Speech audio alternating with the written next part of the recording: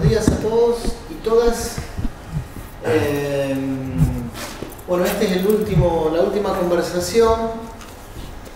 Eh, la de ayer fue bastante práctica, digamos, eh, porque vimos la aplicación, digamos, de los...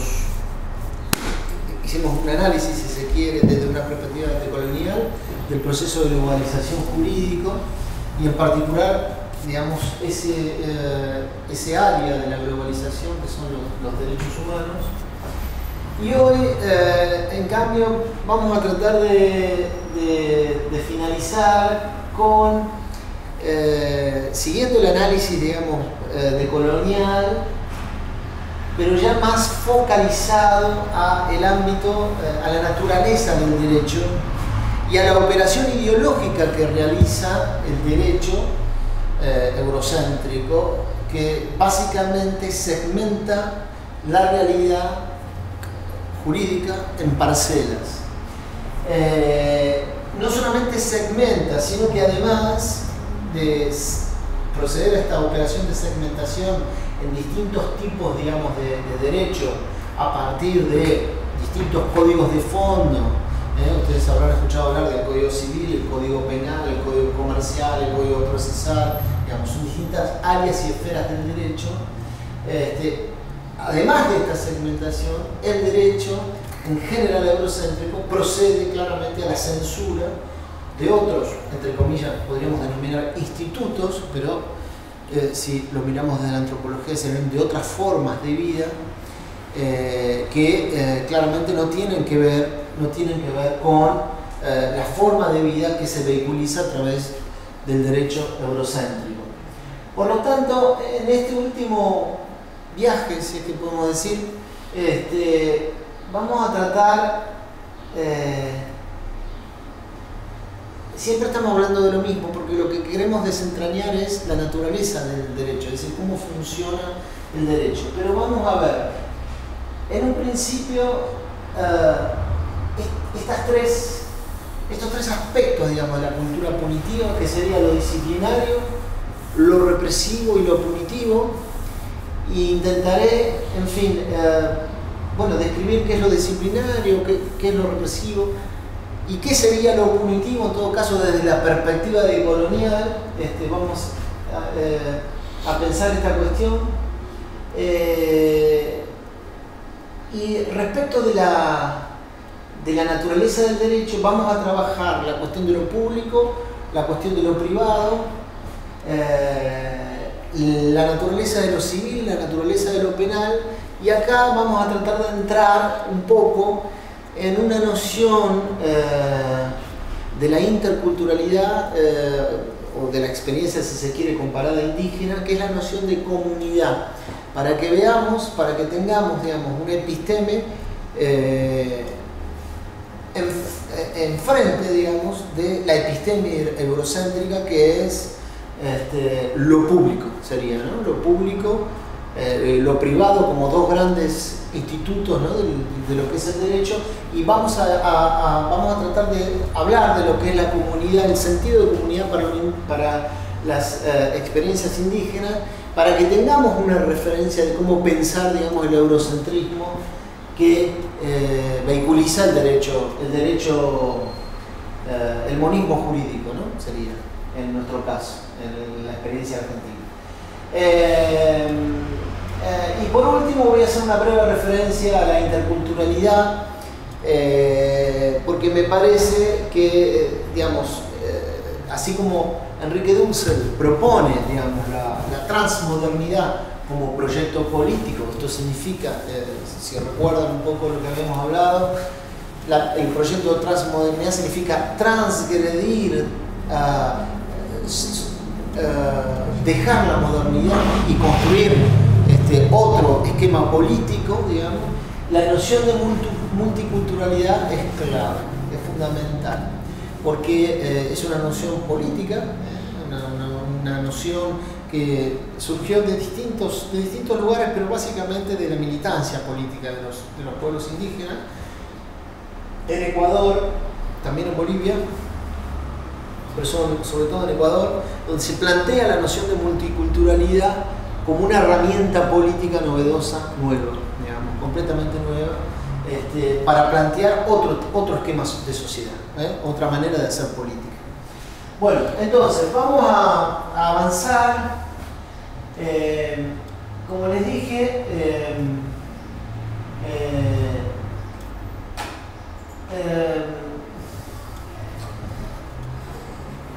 toda la, preocupación, digamos, de, mi trabajo eh, gira en torno a pensar la cultura punitiva. Eh, pero cuando uno entra, uno que hemos estudiado criminología, que hemos estudiado sociología del control social y demás, siempre está esta distinción, siempre aparece esta distinción de aquello que sería lo represivo, de aquello que sería lo disciplinario y aquello que sería lo punitivo. Digamos. Son como ah, tres, tres eh, conceptos que han sido abordados por infinidad de autores. ¿eh? Ustedes acá, si, si, pensamos en lo disciplinario, se nos viene a la cabeza enseguida Michel Foucault. ¿eh?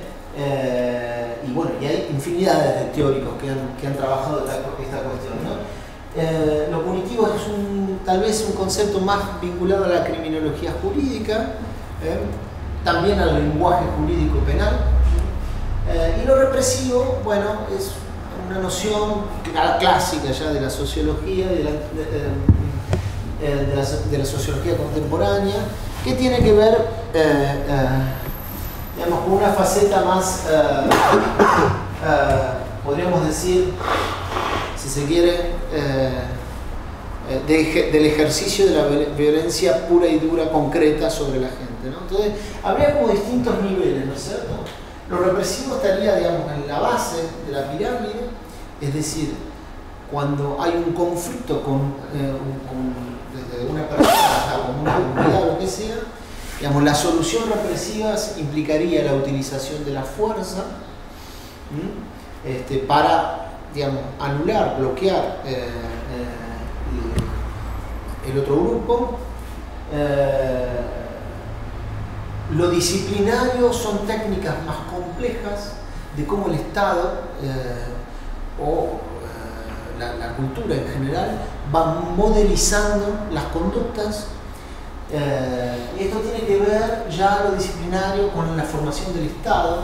Si bien acá hay un debate muy interesante entre Ramón Grofoguer y Michel Foucault, lamentablemente Michel Foucault no está vivo, pero Grofoguer le imputa a Michel Foucault, él dice que la cuestión, eh, el régimen de gobernabilidad, digamos, eh, de las personas, es decir, lo que sería lo, lo disciplinario, ya nació, nació en 1492. Es decir, cuando los reyes españoles conquistan Granada, este, ahí estaban todos los elementos que Foucault va a ubicar tiempo después, eh, más adelante, en 1800 más o menos.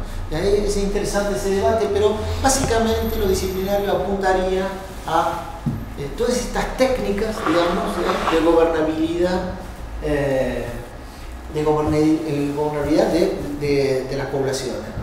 Y lo punitivo, bueno, esa es la pregunta, porque la pregunta que yo me hacía cuando empecé esta reflexión, es decir, bueno, hablamos de cultura punitiva, pero ¿a qué estamos haciendo referencia?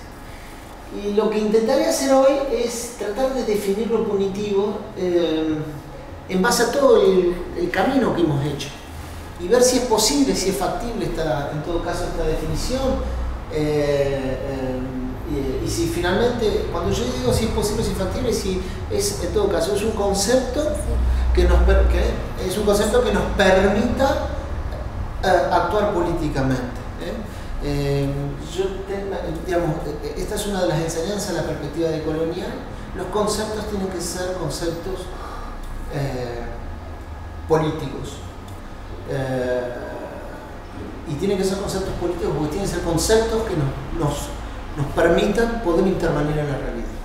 Es decir, eh, como ustedes saben, ya después de todas estas charlas, digamos, desde la perspectiva colonial, este, no existe la noción de objetividad, eh, esto forma parte de la, operación de Cartesiana, es un concepto, la noción, la división del sujeto entre eh, sujeto y objeto es claramente una división ideológica ¿eh? y que es funcional al proyecto de modernidad, colonialidad, y por lo tanto el desafío es cómo poder hacer ciencia, entre comillas, ¿no? Ciencia, cómo desarrollar un pensamiento que nos permita poder intervenir en la realidad y modificar la realidad.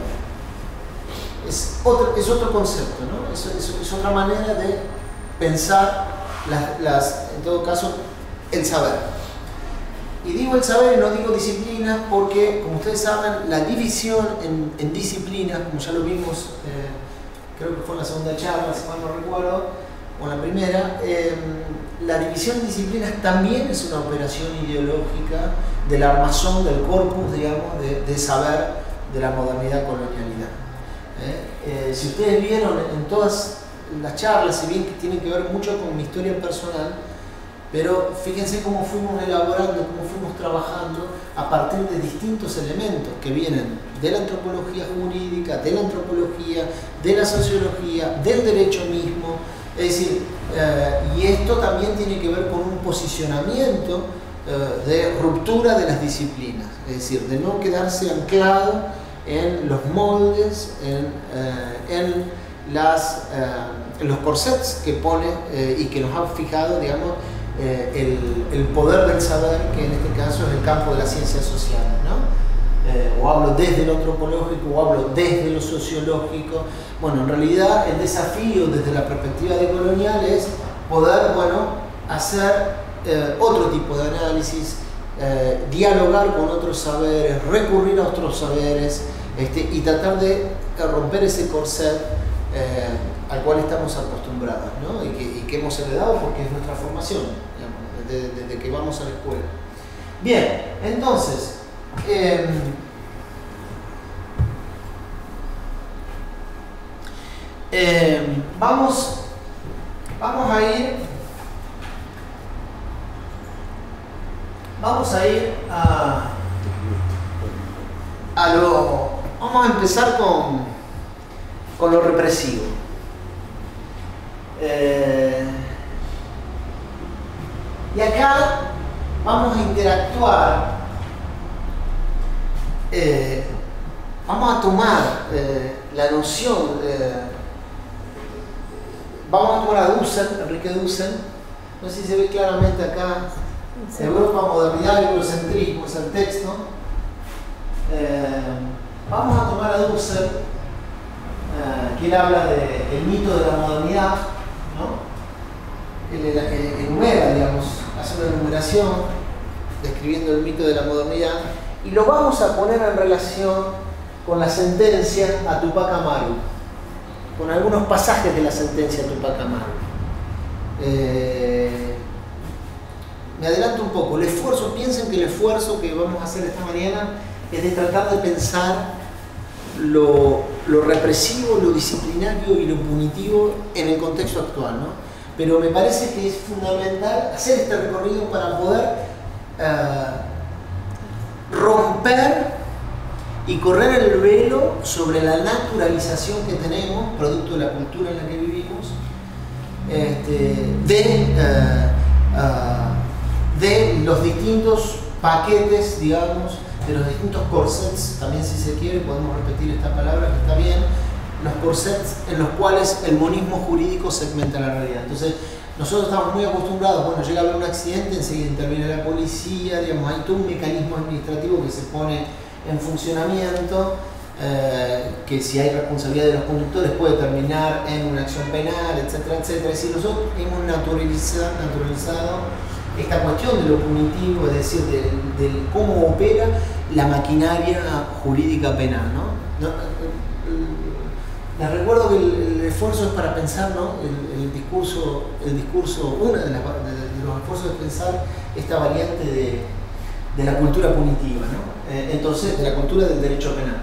Entonces, vamos a relacionar los mitos de la modernidad de, de Dussel con algunos pasajes de la sentencia de Tupac Amaru para que veamos cuál es la, violencia, digamos, cuál es la, experiencia de violencia que hay detrás del monismo jurídico. ¿eh? Eh, porque no es que hay un código penal, y se aplica el Código Penal. hay una experiencia colonial, hay una historia colonial este, para que ese Código Penal haya sido sancionado y es importante que nosotros la tengamos en claro eh, para eh, romper esto que, eh, que, les digo que es la naturalización de la cultura punitiva del monismo jurídico. Entonces, ¿qué es lo que dice Enrique Dussel? Se los voy a leer uno por uno porque son, son este, es, muy, muy, interesante lo que, la posición de Dussel. Recordemos que Dussel está proponiendo una transmodernidad. Dussel hace una crítica a la modernidad. Dussel, dice que la modernidad no comienza eh, en, la Revolución Francesa, sino que comienza en 1492. Este, que eh, el descubrimiento, hay un libro de Enrique Dussel que se llama El encubrimiento del otro, 1942 es decir, que en realidad no fue un descubrimiento, sino lo que, lo que se hace en 1492 es una operación de encubrir, de ocultar. ¿Y qué es lo que se oculta en, e, esa violencia primitiva eh, de, nuestras realidades políticas? Lo que se oculta es esa violencia eh, que vehiculiza eh, el pensamiento eurocéntrico. El pensamiento eurocéntrico, según Dussel, es un pensamiento intrínsecamente violento. ¿Por qué? Porque lleva, porta un mensaje civilizador. Por lo tanto, como todo mensaje civilizador, o te convenzo por las buenas o te convenzo por las malas.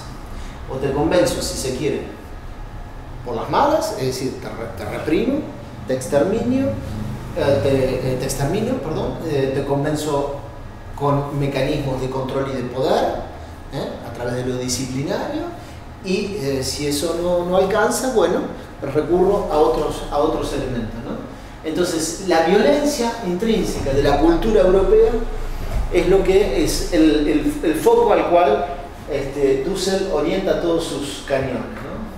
Dice Dussel, la civilización moderna se autocomprende como más desarrollada, superior, lo que significará sostener sin conciencia una posición ideológicamente eurocéntrica. Eh, me gustaría, tengo algunos pasajes de la sentencia de Tupac Amaru. ¿eh? Recuerden, revuelta siglo XVII, ¿eh? ¿eh? hay una, fuerte resistencia indígena. José Gabriel Tupac Amaru, escuchen el nombre, José Gabriel, él ya formaba parte del mestizaje, se revuelta tomando, digamos, se considera él y, su linaje, digamos, se consideran herederos, digamos, del imperio incaico y, levantan a todos los pueblos en el altiplano y provocan una revuelta que realmente pone eh, en graves inconvenientes a toda la ocupación española. Bueno, finalmente después de varios días eh, es apresado y eh, él es sentenciado y se le aplica el suplicio. Acá un pequeño, una pequeña disquisición cuando estudiamos Foucault, por ejemplo, cuando estudiamos el, poder punitivo, una de las cosas que nos enseñan es vigilar y castigar. Y entonces leemos Vigilar y Castigar de Foucault y yo creo que eh, a, mí, a mi entender lo leemos sin aplicarle la diferencia colonial. Entonces cuando leemos Vigilar y Castigar, el inconveniente que tenemos es que si no le aplicamos la diferencia colonial, no comprendemos realmente la naturaleza de la, la naturaleza de la construcción del poder punitivo en nuestras tierras. Es como, y, esto no es culpa de Foucault, porque Foucault pensó su sociedad, no pensó la nuestra. El problema son los traductores que nosotros tenemos. Entonces, si nosotros leemos qué significa el suplicio y tomamos la definición de Foucault, en todo caso estamos hablando del suplicio tal cual lo describía Foucault en la Europa del antiguo régimen. Pero el suplicio en nuestras tierras es otra cosa. Perdón, en el campo de la literatura hay dos autores antillanos más, César César Walter, que justamente a través de la literatura ponen mucho énfasis lo que a veces las ciencias sociales no puede explicar con la dureza.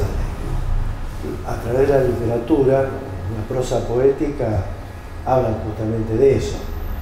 Y lo que sale de la lectura esa justamente es el suplicio. La violencia pero descarnada, o sea, expresada en el sufrimiento más, más trágico. Y bueno, yo lo que noto, o sea, después de haber leído eso, que la literatura, diríamos que teniendo a lo mejor una, incorporación de Foucault desde el punto de vista social de, la gobernabilidad del disciplinamiento, y de, la, inclusive de los, tratados de Dussel y de Quijano en relación a, todo el proceso, la literatura antillana le da el, golpe justo, justo, justo, porque es para leerlo, porque ahí se pone en evidencia lo trágico, ¿no? Claro, claro, claro. Bueno, viste, acordémonos lo que decía, hay un pasaje de Nécessaire, sí, eh, hay un pasaje de Nécessaire que yo creo que desnuda la, toda digamos, la violencia del, eurocentrismo cuando él dice, dice ustedes, eh, dice así, dice ustedes están preocupados por Hitler. Ah, Pero yo a ese señor lo vi pasar acá por el Caribe hace 200 años, vestido de Napoleón, vestido de, de, republicanismo. Es decir, eh, es, uno de los ejemplos que me parece... Hay un texto de Miñolo, perdón, que en inglés, en un texto de Miñolo, habla, eh, pone un, texto de César donde César este, dice que lo que no se perdona a los blancos con respecto al holocausto es no eh, el holocausto en sí, tal como lo presenta, sino que el blanco haya matado al blanco. Claro, claro, claro. y eso, es, lo que denuncia, lo que denuncia César, es decir, que lo intolerable del hitlerismo los europeos es que no se lo soportan a sí mismos, que, haya, que, haya, que haya caído, digamos, que, los mismos europeos se hayan sometido a la propia violencia eurocéntrica. ¿no? Por eso, por eso la frase esta de César, yo a ese señor lo vi pasar hace 200 años por el Caribe. Este, eh, eh, pequeña nota al pie.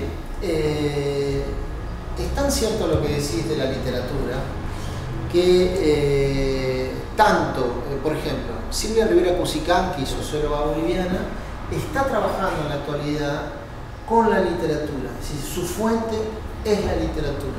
Porque ella entiende, como entienden muchos pensadores, que la literatura eh, es el, lugar, digamos, de subversión eh, y de revuelta y de contacto material donde podemos encontrar los trazos de la colonialidad eh, y de las resistencias también. ¿no? eso hace Silvia Rivera, ese es el proyecto de Silvia Rivera ahora. Pero yo tuve la suerte de estar en Quito trabajando ahí en, en el doctorado de estudios culturales y se promueve también esta línea, Catherine Walsh promueve esta línea de trabajo, es decir, y hay muchos doctorandos que están trabajando la literatura de sus países y autores de sus países, porque es ahí en la literatura, en la relectura de la literatura, donde este, se pueden descentralizar y hacer este tipo de análisis. Pensemos nosotros, nosotros tenemos a alguien que ha hecho eso. ¿Quién fue? Bueno, el gran maestro David Viñas, eh, Indios y Fronteras. Este, David Viñas hizo ese trabajo, ya lo hizo en los años 70. Este, efectivamente, la, literatura es la gran fuente. Y yo, bueno, ustedes lo vieron en la segunda conversación, nosotros eh, utilizamos, digamos, yo utilizo mucho, mucha literatura para describir el pensamiento punitivo. No es necesario que haya existido la ciencia, la ciencia criminológica el positivismo que empieza a fines del siglo XIX para saber que había un pensamiento punitivista, digamos, ¿no? Y eso lo encontramos en los textos de Sarmiento, en los textos de Ceballos, bueno, en todos los clásicos, digamos, de nuestra literatura. En los clásicos de la literatura, en el Facundo y demás, podemos encontrar los trazos claros de la violencia colonial, en el Martín Fierro. ¿eh? Eh, sí, la literatura es, la gran fuente y aparte tiene, la literatura tiene lo que no tienen las disciplinas de las ciencias sociales, no tiene esos corsets. Entonces uno en un pasaje literario puede hablar de la vida cotidiana concreta de la comunidad, saltar de una esfera, es decir, no, eh, la literatura es aquel ámbito, digamos, de la expresión humana eh, que no, tiene ningún tipo de, de corset, ningún tipo de corset, y donde el campo de experimentación es, eh, es completamente abierto. ¿no? Eso, eso tiene que ver también con la lucha epistémica. Eso tiene que ver con la lucha epistémica, porque ustedes, bueno, no sé si tuvieron, pero aquellos que entramos en la experiencia y que hacemos las, las, las carreras académicas y demás, lo que sufrimos desde el vamos son por sets disciplinarios, por sets en los formatos de escritura, por sets este, de, eh, de, los modos, eh, corsets bibliográficos, segmentaciones bibliográficas, eh, en fin, en realidad si hay algo que se combate y que la universidad combate es precisamente esta cuestión, es cercenar la libertad, la creatividad y restringir la, social, digamos, los juegos de libre asociación que sí se permiten en la literatura.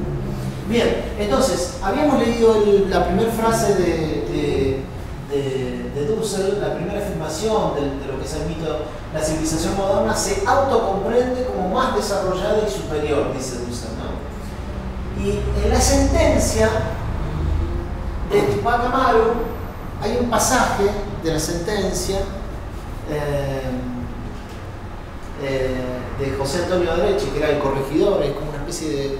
Corregidor era el que tenía el poder sobre una región determinada.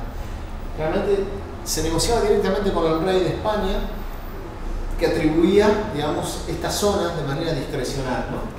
Generalmente se compraban estas, digamos, eran, uno iba directamente, negociaba con, eh, el rey de España, ¿sí? negociaba las cartas de corregidor en un territorio, le, adjudicaba y aportaba la corona, pagaba por ese, por esa, por esa, digamos, eh, por ese título, ¿no? Era un título, un, título, digamos, este, eh.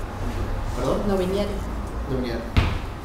Entonces, fíjense una frase que dice, los indios, estamos hablando de la sentencia, ¿eh? los indios llenos de supersticiones, que los inclinan a creer la imposibilidad que se les imponga pena capital por lo elevado de su carácter, creyéndole del tronco principal de los incas, es decir, lo que decía Tupac Amaru es yo desciendo ¿eh? del linaje incaico, como se ha titulado, y por eso dueño absoluto y natural de estos dominios y su vasallaje es decir, lo que reivindicaba Tupac Amaru que era el dueño de la tierra eh, y que bueno, y que también era el, que conducía los, los, destinos del pueblo incaico. Poniéndome también a la vista la naturaleza, condición, bajas costumbres y educación de estos mismos indios y las de las otras castas de la plebe. Fíjense cómo, qué interesante, porque eh, lo que dice Dussel ¿eh? que la civilización moderna se autocomprende como más desarrollada, claramente lo tenemos en ese párrafo, en realidad en toda la sentencia, pero en ese párrafo creo que ahí hay una, la afirmación que hace, me parece que es, es, eh, contundente, ¿no es cierto? Eh, la otra dice la, superioridad, dice Husserl, la superioridad obliga a desarrollar a los primitivos rudos, bárbaros, como exigencia moral. Es decir, que el europeo, lo que dice Dussel acá, es que el proyecto europeo es claramente un proyecto civilizatorio. Como yo soy superior, tengo que desarrollar a los primitivos. Los tengo que meter en un proceso civilizatorio para que puedan llegar. Esto es Hegel, ¿no? Es decir, la idea de que hay pueblos más. Eh, que alcanzan más la espiritualidad, y otros pueblos que no tanto, ¿no? pueblos más elevados, menos elevados, básicamente es esta idea. Entonces, este, todo aquello que queda, digamos, que, no es moderno, es atrasado, es incivilizado, es primitivo y lo tengo que, lo tengo que educar, lo tengo que, eh, lo tengo que eh, transformar, eh, modificar. Y, fíjense en la sentencia Dice,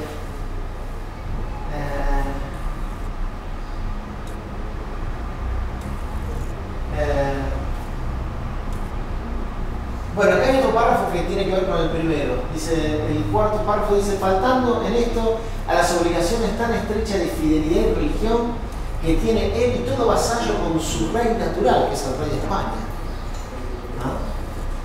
Prueba clara, evidente y dolorosa del extraviado espíritu con que se gobierna esta infeliz clase y también de cuán poco conoce la subordinación. Es decir, básicamente lo que estaban poniendo en cuestión Tupac Amaru y los aymaras y los quichuas era el poder español. ¿no? Entonces, el, drama, el drama acá en la sentencia es la insubordinación del pueblo que ellos estaban conquistando. Eh, eh,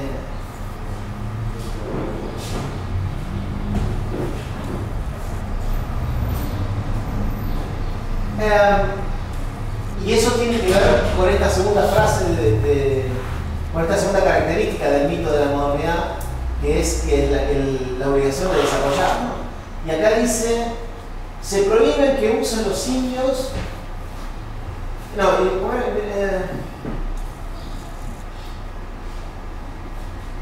creo que estaba en la segunda, si no me equivoco. Claro.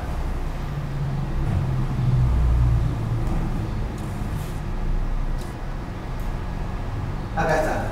Y para que estos indios se despeguen del odio que han concebido contra los españoles y sigan los trajes que les señalan las leyes, se vistan de nuestras costumbres españolas, hablen la lengua castellana, se introducirá con más vigor que hasta aquí el uso de sus escuelas bajo las penas más rigurosas y justas contra los que no las usen después de pasado algún tiempo en el que la puedan haber aprendido.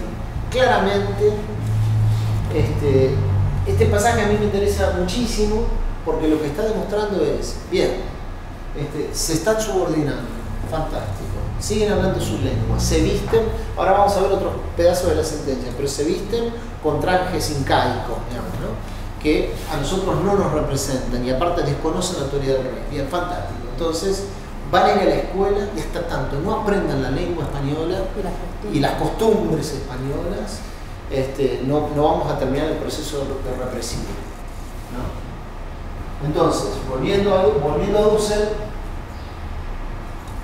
volviendo a Dussel, la, obligación, la obligación, y acá estamos hablando del poder primitivo, ¿eh? la obligación de desarrollar a los más primitivos este, forma parte de eh, la modernidad, del mito.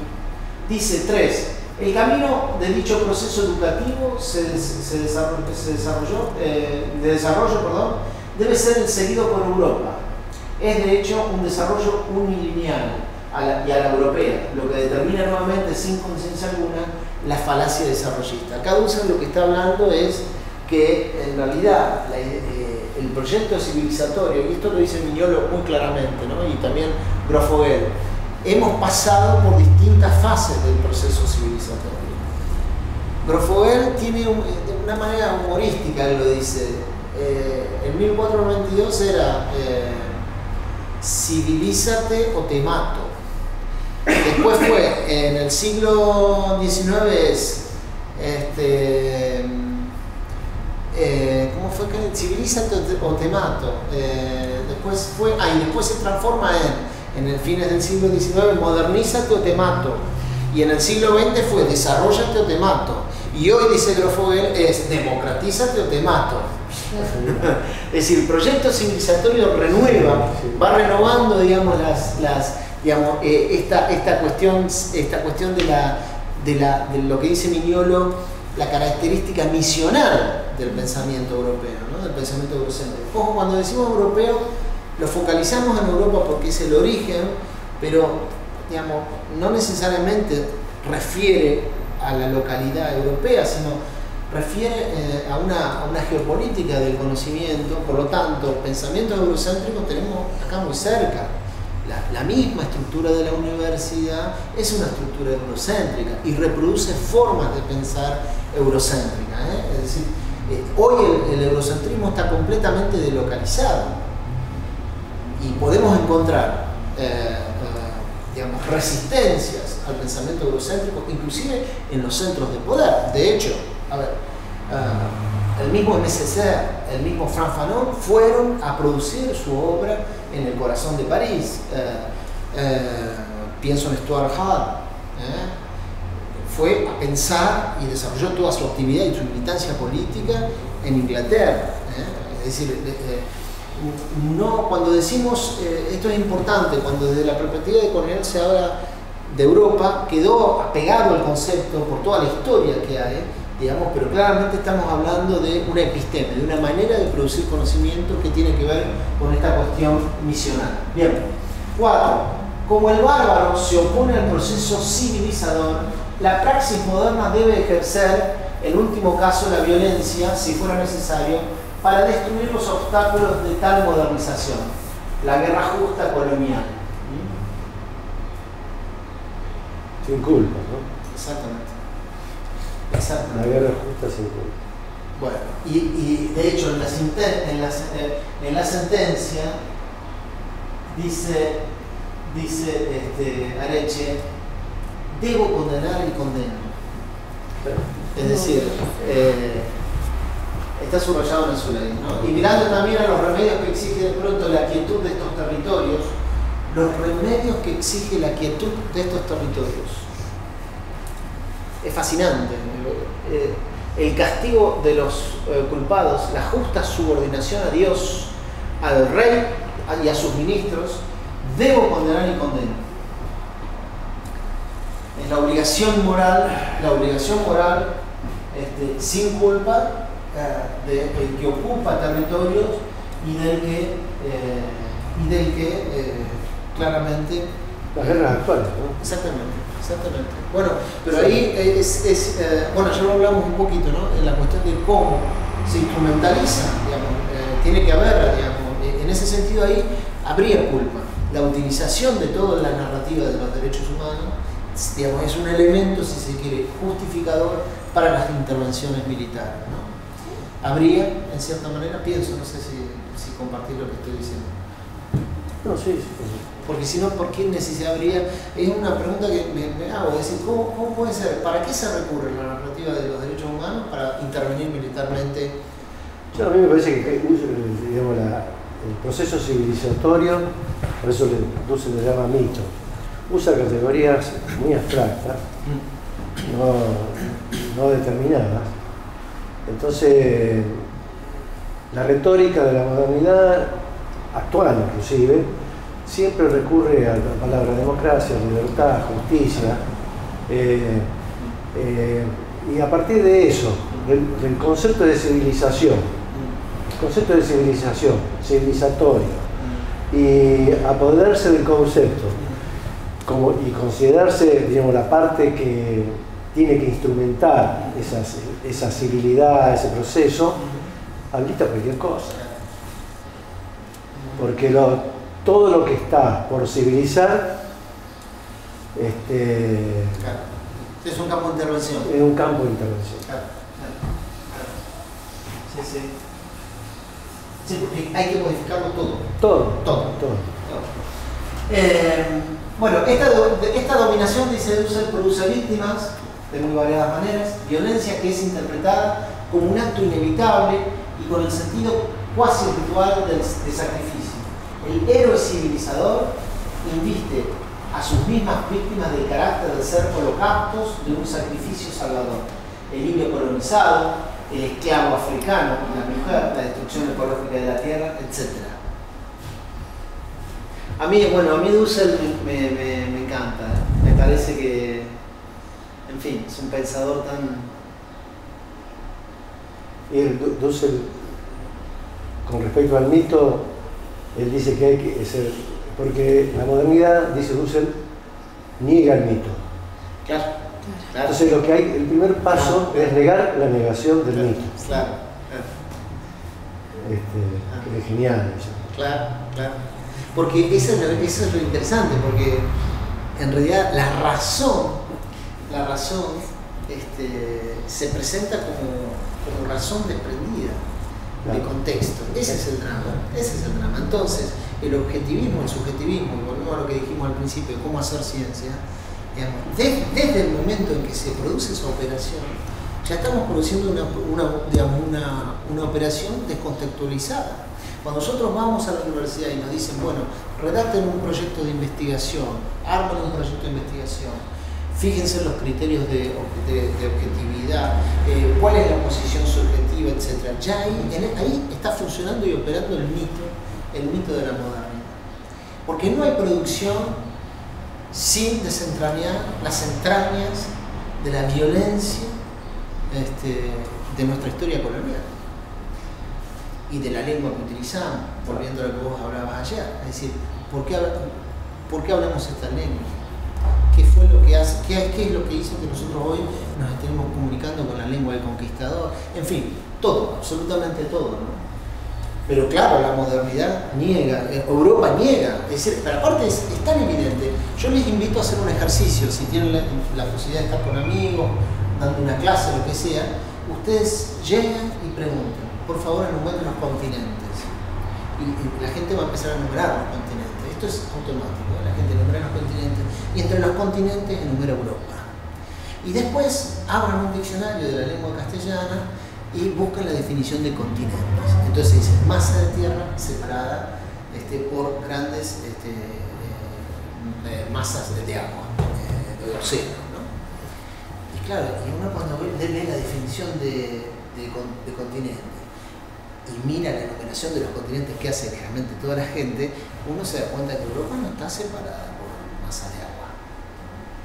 Entonces, hasta la misma Europa se construye un relato el poder, ¿eh? Hasta el mismo mapa. Hasta el mismo mapa, es decir, la, cartografía, ese es un trabajo. De el mapa de Claro, claro, bueno, la misma, a ver, hay una, toda una política de la cartografía. Si ustedes eh, toman, ah, yo, bueno, no tengo mi PC, pero si hay un mapa mundi cualquiera, usted, la, pregunta es por qué tiene esa disposición el mapa mundi, ¿no es cierto? Ustedes fíjense que Europa siempre está al medio y en la parte de arriba.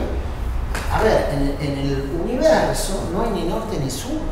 Entonces, ¿por qué el mapa está conectado de esa manera y no está eh, digamos, puesto de la, otra, de la otra forma? Adelante. Hace poco el Ministerio de Educación de la Nación sacó una, no sé si lo pudieron ver, pero emitió unos mapas que se repartieron en toda la escuela, que son mapas eh, inversos. Exactamente. Digamos, ponen el, el mapa mundo y lo ponen al revés, el norte en el sur y el sur en el norte, entonces Argentina y con Sudamérica aparece eh, arriba. Y eso lo hicieron también como una manera de, Exactamente. construir.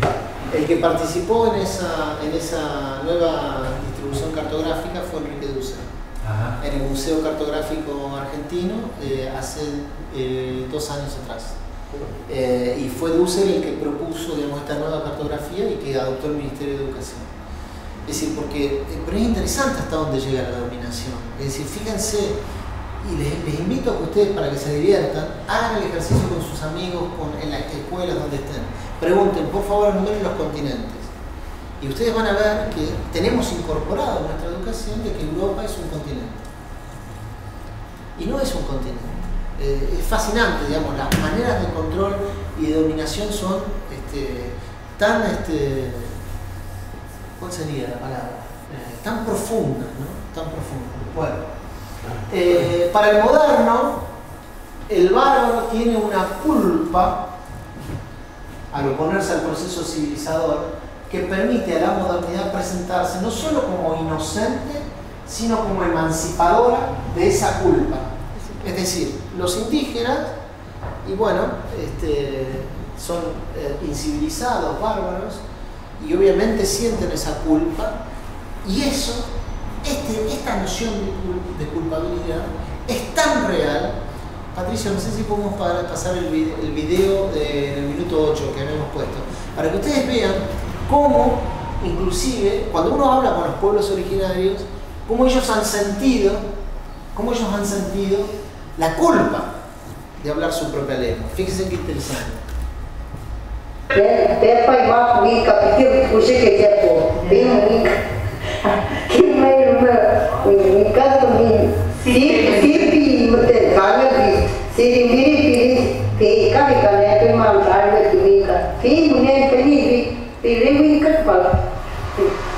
Acá. Eh, al menos yo perdí la lengua porque mi viejo no quería que aprendiéramos algo por lo cual seríamos castigadas en la escuela. Y yo vi esa realidad porque cuando los niños eh, hablaban entre ellos y yo, yo los veía y escuchaba, y en ese tiempo había monjas en la escuela, y, y la monja más encima de la alemana tampoco hablaba muy bien el castellano, pero castigaban a los niños cuando hablaban. Y los castigaban porque ellas supuestamente creerían que, las- que hablaban de ellas. Ahora en este momento sí, pero anteriormente cuando yo me eduqué, voy a hablar de persona cuando yo estuve en el colegio, había discriminación. Entonces lo que empieza fue la parte que uno no empezó a abandonar su cultura. Porque ustedes, pues, el hablar en, en mapuche en el colegio era... Claro, la risa. Los chicoteos, las cosas. En esos años. Porque eso fue una de los motivos por que los viejitos no le enseñaban a sus hijos porque no, porque no le enseñaban igual como se le enseñaba a ellos. Claro. Por eso, por eso decía, como decía, la lengua de nosotros más común un poquito rica. La winca que hoy en día, o también por ahí donde que ven la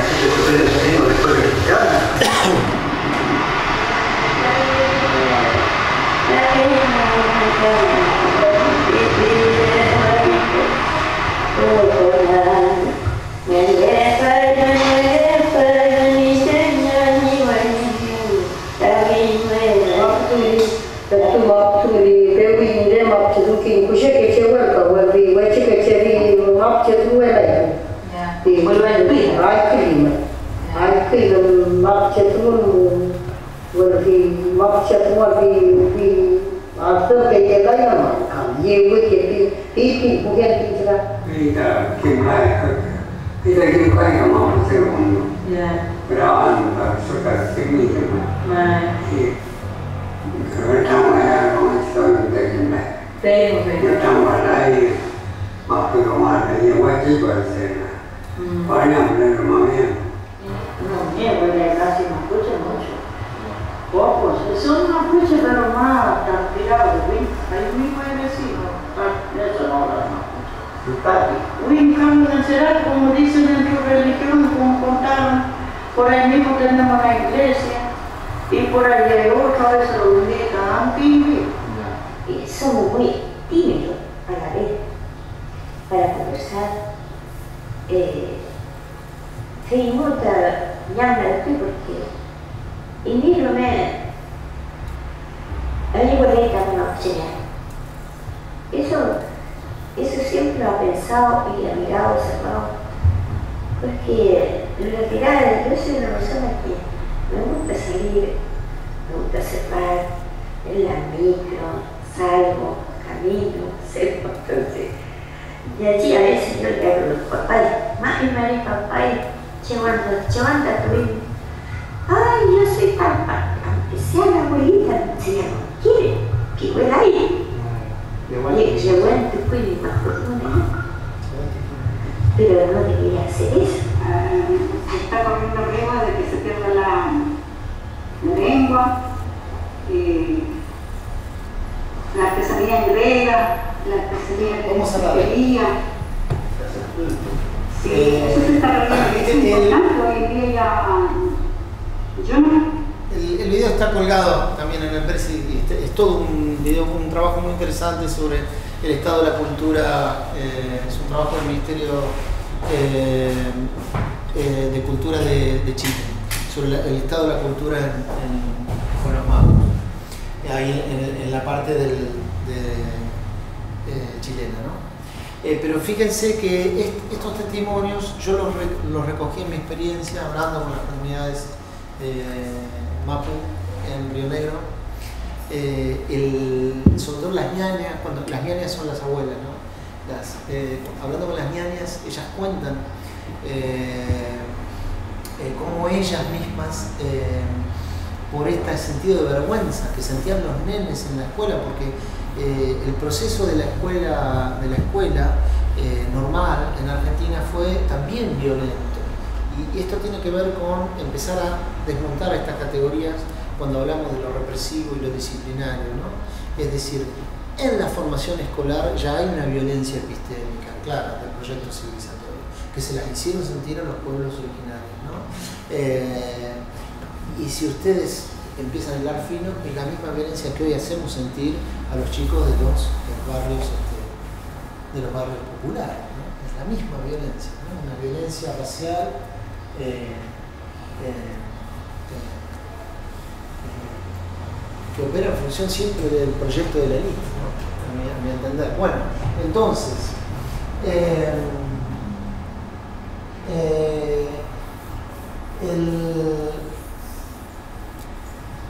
estamos en... Vamos a ir entonces, este, esta vergüenza es la que, dice Dussel. ¿no?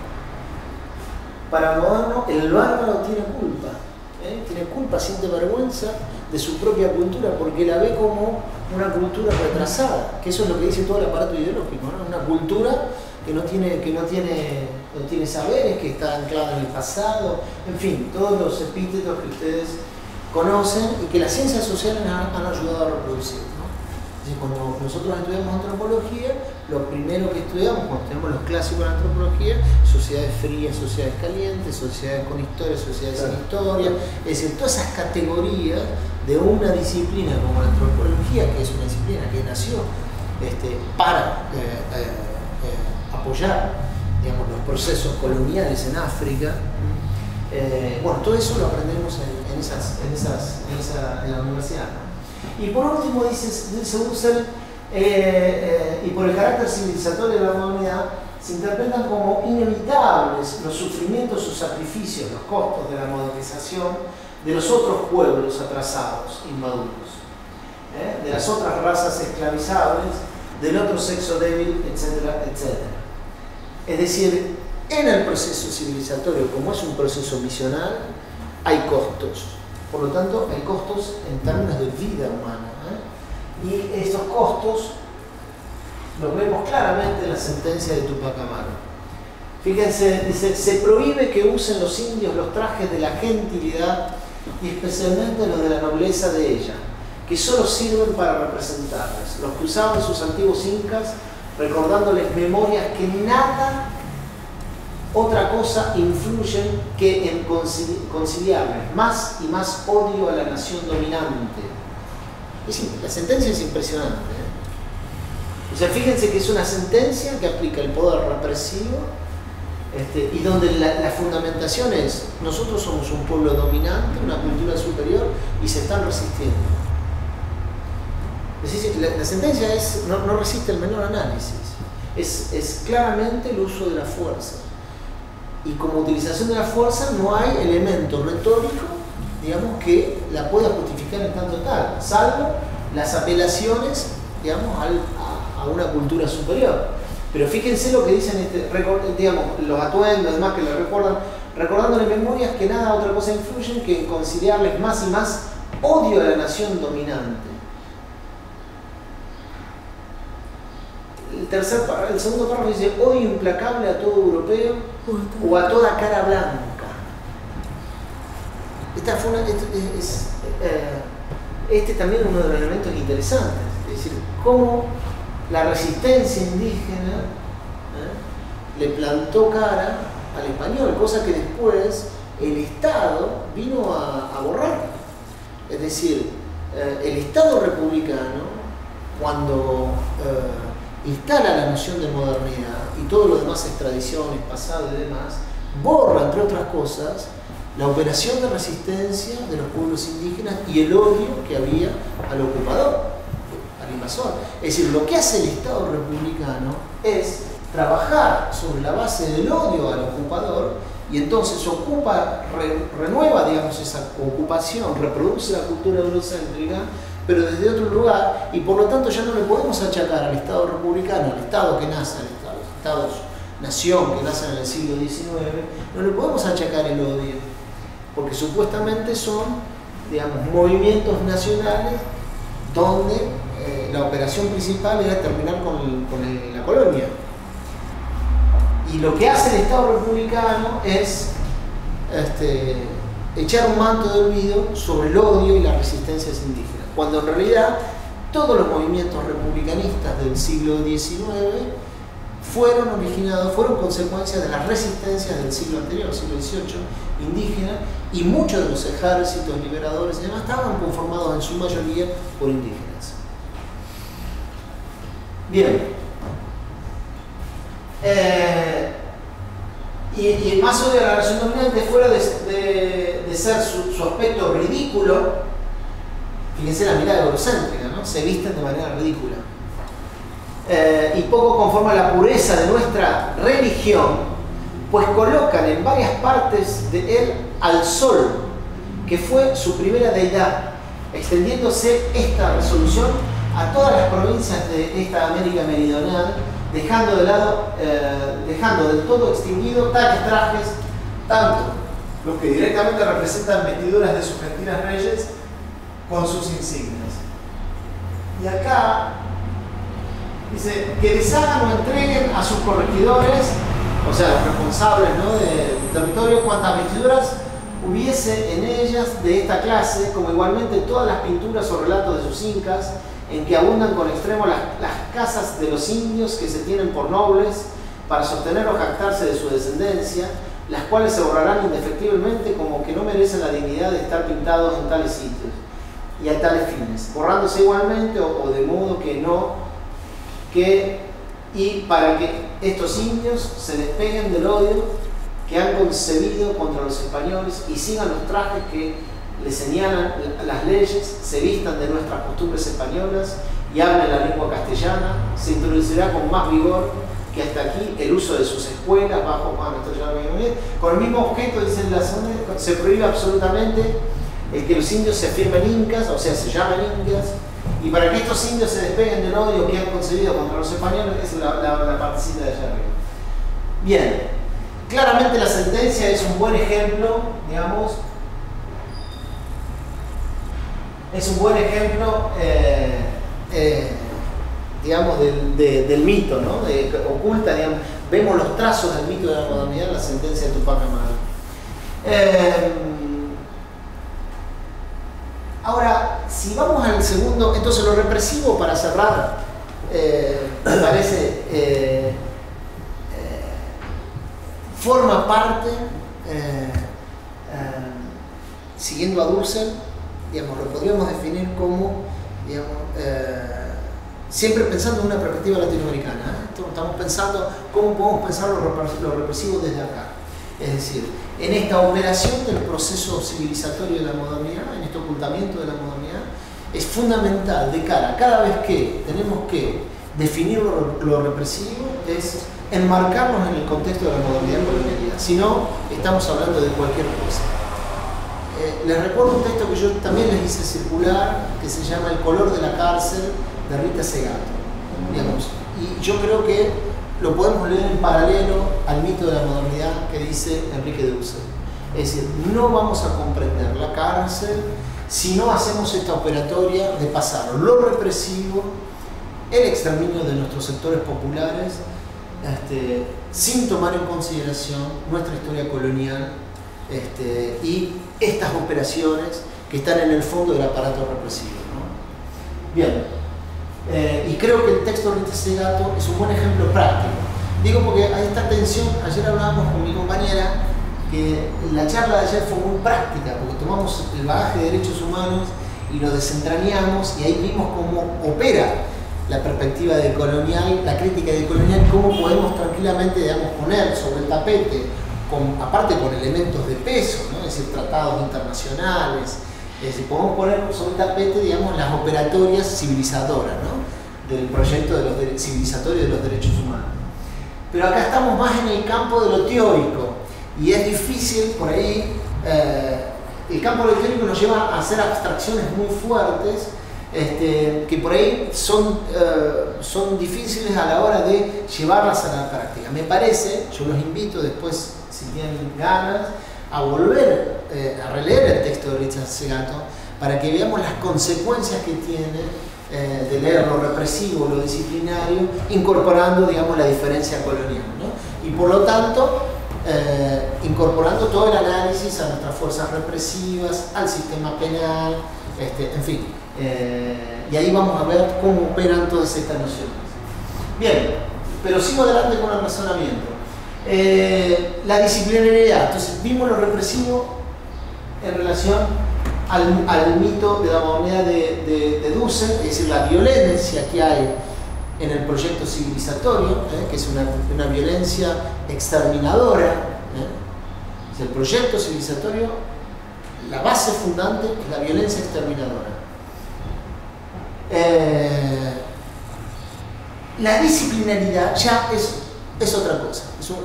acá estamos en un campo más Foucaultiano, es decir, cuáles son los instrumentos que tiene una cultura para modelizar, modelizar a sus miembros.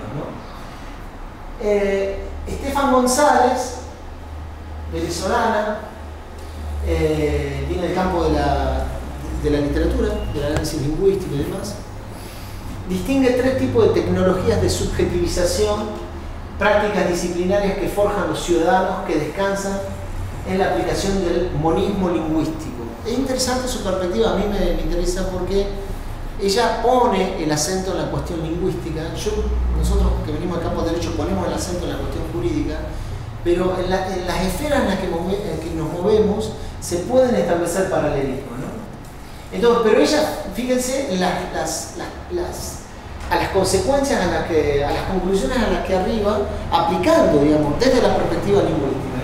Entonces ella dice, para forjar ciudadanos, el Estado republicano ¿Cuáles eran los elementos de escritura que tenía digamos, esta, nueva configuración política? Las constituciones republicanas, ahí empieza todo un vocabulario, ¿eh? dejamos de ser eh, eh, indígenas, dejamos de ser mestizos, dejamos de ser negros, dejamos de ser españoles, para pasar a ser ciudadanos republicanos, es decir, hay toda una, carga ideológica en el lenguaje de la constitución republicana. Los manuales de urbanidad toma ella, ¿eh? los valores de urbanidad y las gramáticas de la lengua que se aplican en las escuelas. Con esos tres elementos, ella construye, digamos, ella describe el poder disciplinario de los estados republicanos, si bien eh, su trabajo se centra en Venezuela, es un trabajo que claramente podemos expandir a toda Latinoamérica. De hecho, trabajos de esta naturaleza ha hecho eh, Santiago Gómez Castro desde el campo de la filosofía en, Colombia. Pero tenemos muchos autores que trabajan, digamos, esta cuestión de la disciplinaridad. ¿Cómo fue que el Estado republicano empezó a disciplinar, empezó a hacer de nosotros esto que somos hoy argentinos? Bien. Eh, entonces, ella dice, primero, la invención de la lengua republicana, ¿no? Dice, escribir era un ejercicio que en el siglo XIX respondía a la necesidad de ordenar e instalar la lógica de la civilización y que anticipaba el sueño modernizador de las élites criollas. La palabra escrita construye leyes e identidades nacionales, diseña programas modernizadores, organiza la comprensión del mundo en términos de inclusiones y exclusiones. Por eso, el proyecto fundacional de la nación se lleva a cabo mediante la implementación de instituciones legitimadas por la letra, escuelas, hospicios, talleres, cárceles, y de discursos hegemónicos, mapas, gramáticas, constituciones, manuales, tratados de higiene, que reglamentan la conducta de los actores sociales, establecen fronteras entre los unos y los otros y les transmiten la certeza de existir dentro o fuera de los límites definidos por esa legalidad escrituraria. me parece que es condensa, digamos, cómo hacemos de nosotros los ciudadanos que somos. ayer en el video hay una cosa que en el video de, la intervención periodística. Sí, no, el video de, sobre ah, el, juicio oral. Me llamó la atención que dentro de. Me, me, chocó. ah, el, el, audio de, que pasamos ayer de. si bien la que estaba entrevistada tenía las contradicciones propias de un juicio oral y de ser una persona, digamos, que se encontraba con ese contexto, en, la, en, la, digamos, en lo que dice empieza a aparecer las normas y los procedimientos. Ah. Y eso es terrible porque la norma y procedimiento va, digamos, ocupando el lugar de lo que el juicio en sí mismo, en tanto subjetividad o profundidad o análisis y digamos lo trágico de la sentencia, lo ocupa el procedimiento. Cuando el procedimiento ocupa esa, esa zona, que es la zona oscura, más trágica, el procedimiento sigue para adelante y, no hay más culpa. No está la situación esa de crisis, ¿no? Bueno, ella dice, hay que hacer tal cosa, hay que hacer tal cosa, hay que hacer tal cosa. Claro, claro. Eh, o sea, y el procedimiento, bueno, hablemos del holocausto, porque el procedimiento era una, un instrumento, y las normas también, ¿no? Ocupan el lugar, el lugar de lo que está escondido, que o sea, el procedimiento esconde cosas, ¿no? El procedimiento esconde una violencia, claro. claro. Y en el ejemplo que vos, eh, eh, no nos detuvimos a analizar, pero ese testimonio es para, tomar palabras, yo lo he escuchado muchas veces ella dice, eh, ella da cuenta del procedimiento y que tenían que seguir. Porque ella, ella cuenta de esta cosa que tenemos, y teníamos, y bueno, lo teníamos que hacer, dice, ¿no? Y, pero eh, se nota claramente la violencia a la que fue sometida, que eso es lo que a mí me interesa eh, transmitir. y por eso yo una, impulsé una campaña de objeción de conciencia al juicio por jurado eh, una campaña que empezamos a, circular con varios compañeros en Buenos Aires, es decir, firmar una declaración jurada donde nos oponemos al juicio por nos ponemos a ser jurados por jurado, porque no queremos participar de la maquinaria punitiva del Estado. Porque el, el meollo de la cuestión es la violencia, la violencia de meternos en el ritual de las normas del proceso penal este, para, este, eh, para eh, en una mímica, digamos, y, en una legitimación del dispositivo de castigo. Es una representación, Es una representación, claramente. Y aparte, el problema político que hay de fondo, ¿no? Porque claramente todos sabemos el rol que juega el Poder Judicial en la construcción de las élites en nuestro país. Es decir, un juez, para que ustedes tengan una idea, un juez penal hoy día en la provincia de Santa Fe, con unos 10 años de actividad, está ganando más de 100 mil pesos. 100 mil pesos. Es decir, eh, digamos, es importante que tengamos consideración y en cuenta esta cuestión, es decir, ¿qué, lugar ocupan los jueces en la división racial del trabajo? Es, fundamental, es fundamental. Entonces, este, me parece que participar de ese ritual pedagógico con, digamos, este, ritual pedagógico fomentado por la élite, eh, para resolver, porque recuerden los actores del juicio de ella.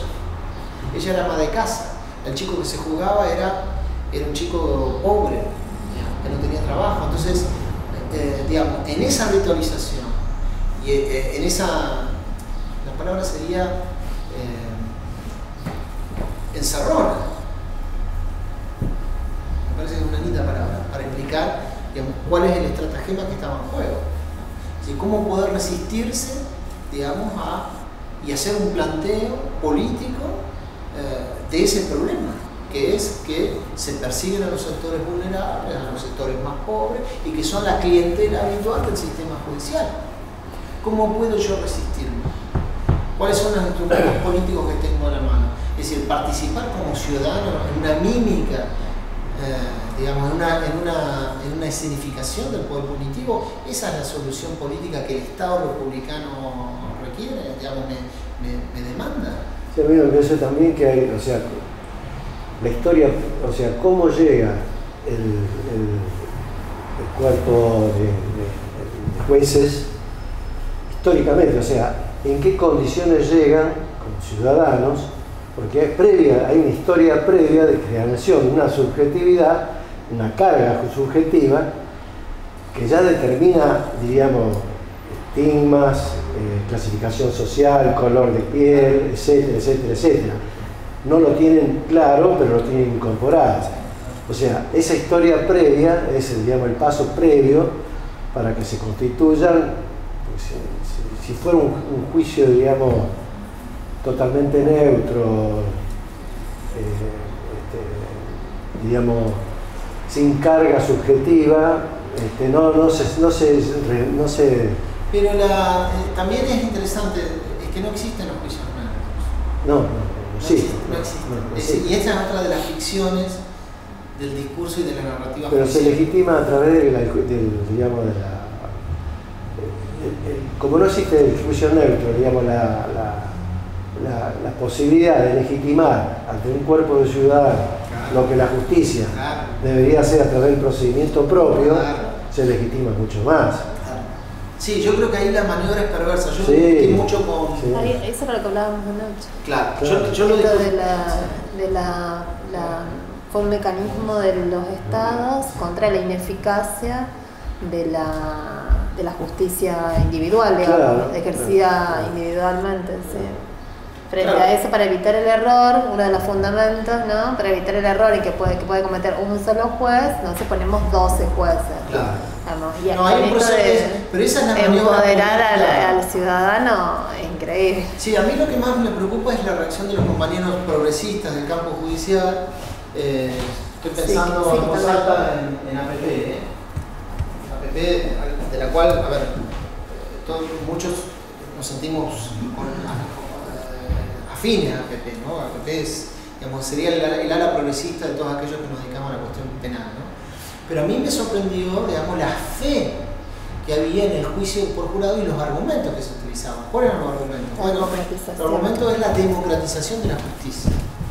Este, ¿Y cómo se democratizaba? Quitándole poder al juez porque se lo daban a un jurado que es el que decide si se lo condena o no. El, el rol del juez solamente decir, está bien este, cumplir los procesos eh, legales, eh, se hizo la, ritualización acorde, eh, se dijo que se condenaba o no se condenaba. Si se condena, yo establezco que la pena va a ser de tantos años. Punto. Es decir, y, entonces veían esto como un proceso, digamos, de haberle quitado poder al Poder Judicial. Y en realidad es un mecanismo perverso de legitimación del Poder Judicial en fin, es para debatirlo eso.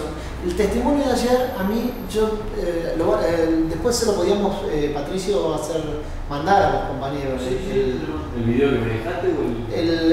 el, audio y el video también que te, que te, dejé, se lo mandamos a los compañeros. Pero el audio, escúchenlo detenidamente, porque tiene unos elementos fantásticos. Es decir, la voz de la, del testimonio demuestra claramente a la violencia que fue sometida pero es, clarísimo cómo fue sometida ella a la violencia. Y lean el reportaje de Irina Hauser en página 12 respecto de este juicio, porque ella toma otros testimonios, donde claramente son más claros los testimonios. Dicen ahí, eh, yo lo tengo acá, hay uno de los testimonios, me parece, eh, que es, es, muy gráfico, ¿no? muy, muy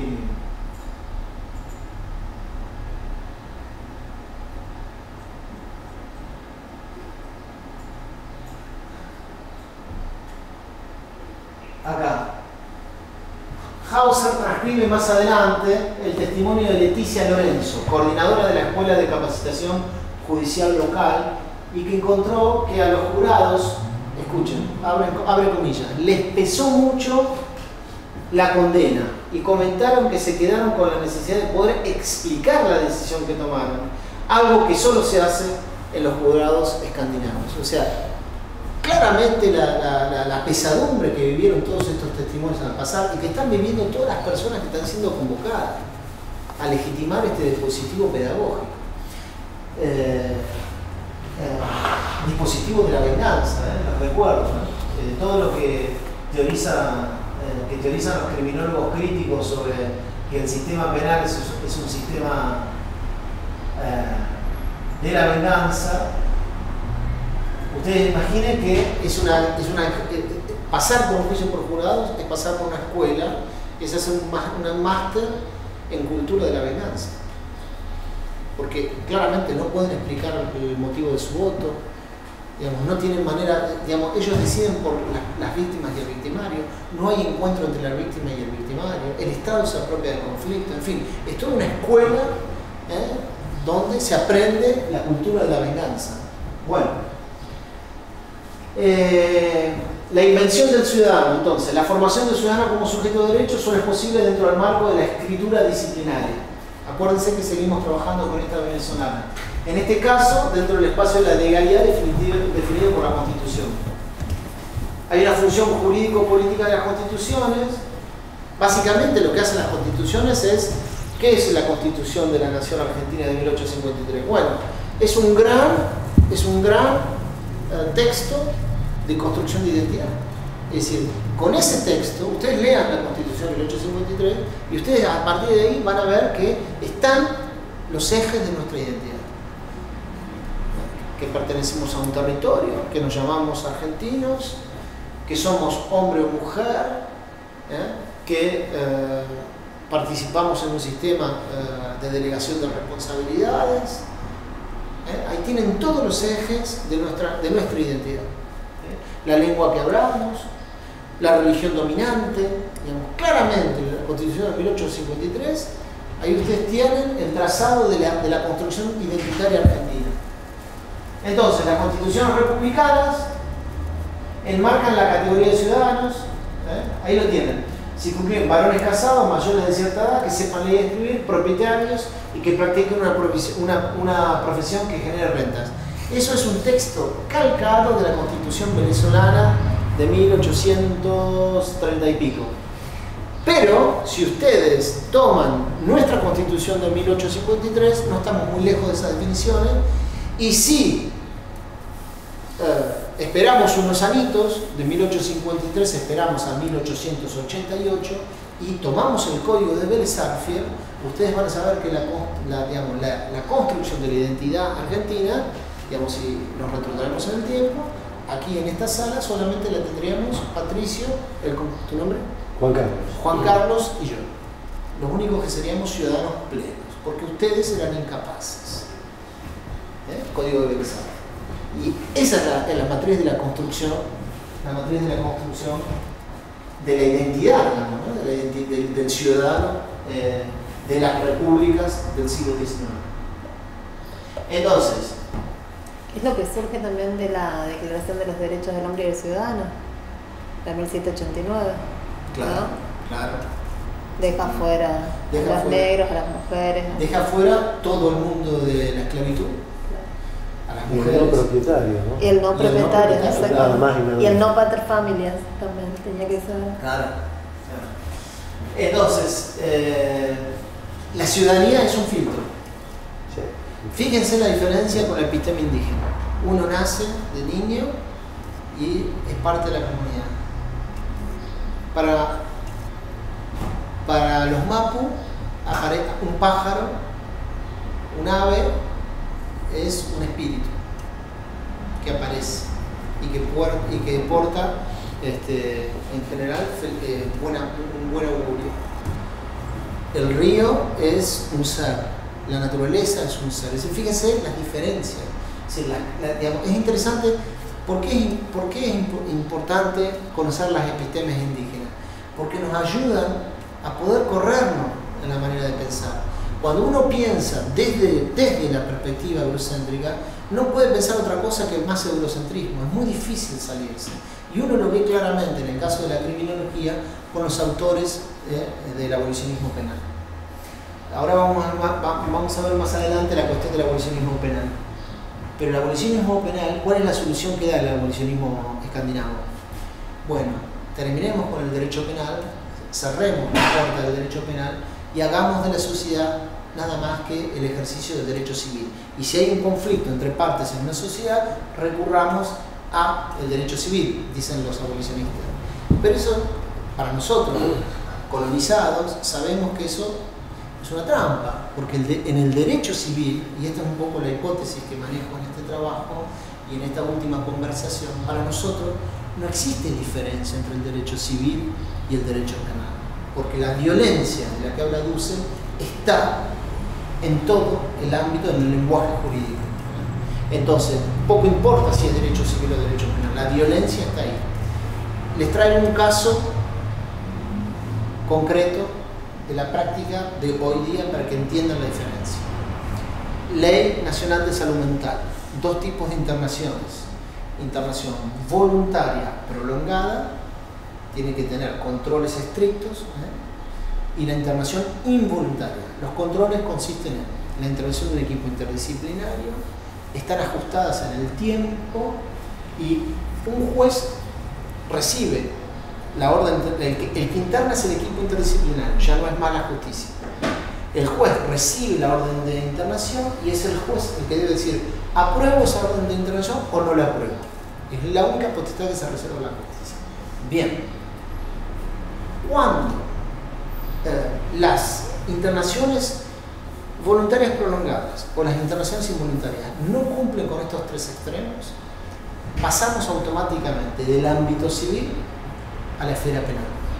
Es decir, las internaciones voluntarias prolongadas sin estos extremos y las involuntarias pasan a ser privaciones ilegítimas de la libertad. Fíjense, digamos, cómo uno puede ir de, una esfera a la otra, ¿eh? de lo que es el derecho civil o el derecho penal, digamos, por una cuestión de probar extremos legales. ¿Se entiende? Es decir, eh, pongo este ejemplo me parece un buen ejemplo para entender que en realidad el juego y el entramado y, los, digamos, y, las interrelaciones que podemos hacer entre las distintas áreas y esferas del derecho, en realidad es una sola. ¿eh? Es una sola.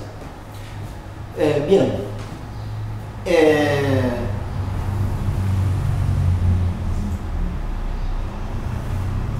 la, domesticación del cuerpo del ciudadano, entonces, la escuela, claramente, ¿no? La escuela es el espacio donde se ha construido la ciudadanía y se sigue construyendo, obviamente, la ciudadanía. Hay una idea de patria, ¿eh? son grandes productores identitarios, ¿no? Este, eh, que fíjense cómo absorben inclusive hasta nuestras figuras emblemáticas, ¿no?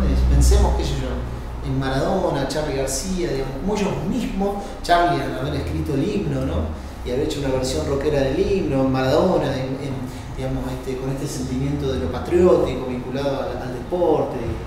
Eh, digamos, cómo son grandes productores de, eh, identitarios. Y pienso en Maradona porque yo me acuerdo siempre del, papá de Diego. Cuando uno ve las facciones del padre de Diego, claramente estamos hablando de un mestizo, ¿no? cómo ha sido absorbido por el republicanismo y cómo, digamos, esta, esta identidad novedosa, que es la del republicano, la de ser argentino, digamos, borra, borra todo lo anterior. El caso de García es más complicado, es el, es García Lange, y bueno, y sus padres vienen, de afuera, digamos, ¿no? Eh, la pedagogía de lo patrio, lo que se busca es introyectar una disciplina en la mente y en el cuerpo que capacita a la persona para ser útil a la, a la patria. Ustedes tal, vez no tuvieron, Patricio no tuvo la oportunidad, pero yo sí, y calculo que el compañero también. Nosotros este, teníamos la obligación de hacer el servicio militar y de ser útiles a la patria. Ese era el lenguaje que se utilizaba en la convocatoria. ¿eh? Y cuando nosotros hicimos el servicio militar, los militares nos decían, eh, hay que ser útil a la patria, hay que entrenarse, manejar las armas para ser útil a la patria. Digamos, un lenguaje que va de lo, de lo militar pasando por el chauvinismo nacional. Eh, y los manuales de urbanidad. Ella cita, la autora, a Carreño, que es un manual de un chileno, si mal no recuerdo, pero que se, se esparció por toda Latinoamérica. Eh, y el intento es ella dice, la leo porque me parece que es clara, su intento es reglamentar la sujeción de los instintos el control sobre los movimientos del cuerpo, la domesticación de todo tipo de sensibilidad considerada como bárbara. Dice, no se escribieron manuales para ser buen campesino, buen indio, buen negro, buen gaucho, ya que todos estos tipos humanos eran vistos como pertenecientes al ámbito de la barbarie. Los manuales se escribieron para ser buen ciudadano. ¿Eh? Por eso el manual de Carreño advierte que sin la observancia de estas reglas, más o menos perfectas, según el grado de civilización de cada país, no habrá medio de cultivar la sociabilidad, que es el principio de la conservación y el progreso de los pueblos y la existencia de toda sociedad bien ordenada. Acá en esa frase maravillosa de Carreño tenemos eh, el principio de, primero, eh, la, evolución, evolucionismo, sociedad bien ordenada, organismo, es tenemos una coctelera de buenas intenciones de las... Progreso del progreso. ¿eh? Bien, eh, yo, esto ya no forma parte digamos, del, planteo de, esta pensadora venezolana, por mi formación, eh, eh, yo incorporé, me, me parece que es fundamental incorporar el área de la salud. A mí me parece que más allá de la escritura eh, republicana, eh, más allá de, bueno, en fin, de todos los elementos, manuales de urbanidad, etcétera, etcétera, yo creo que la salud ha sido un gran vehiculizador y de la construcción identitaria. Y la historia argentina en ese sentido tiene muchas cosas por, aportar. Primero, recordemos Rosas y su política de indios amigos y indios enemigos. Y, y Rosas, el instrumento político que tenía para este, poder eh, regular los conflictos en la frontera y poder ir ampliando la frontera tenía que ver con el manejo de una tecnología médica y que era la vacuna contra la viruela. Y él utilizaba políticamente la vacuna contra la viruela este, para conseguir aliados. Les voy a... Hay, hay dos, dos, dos testimonios que me encantaría leérselos.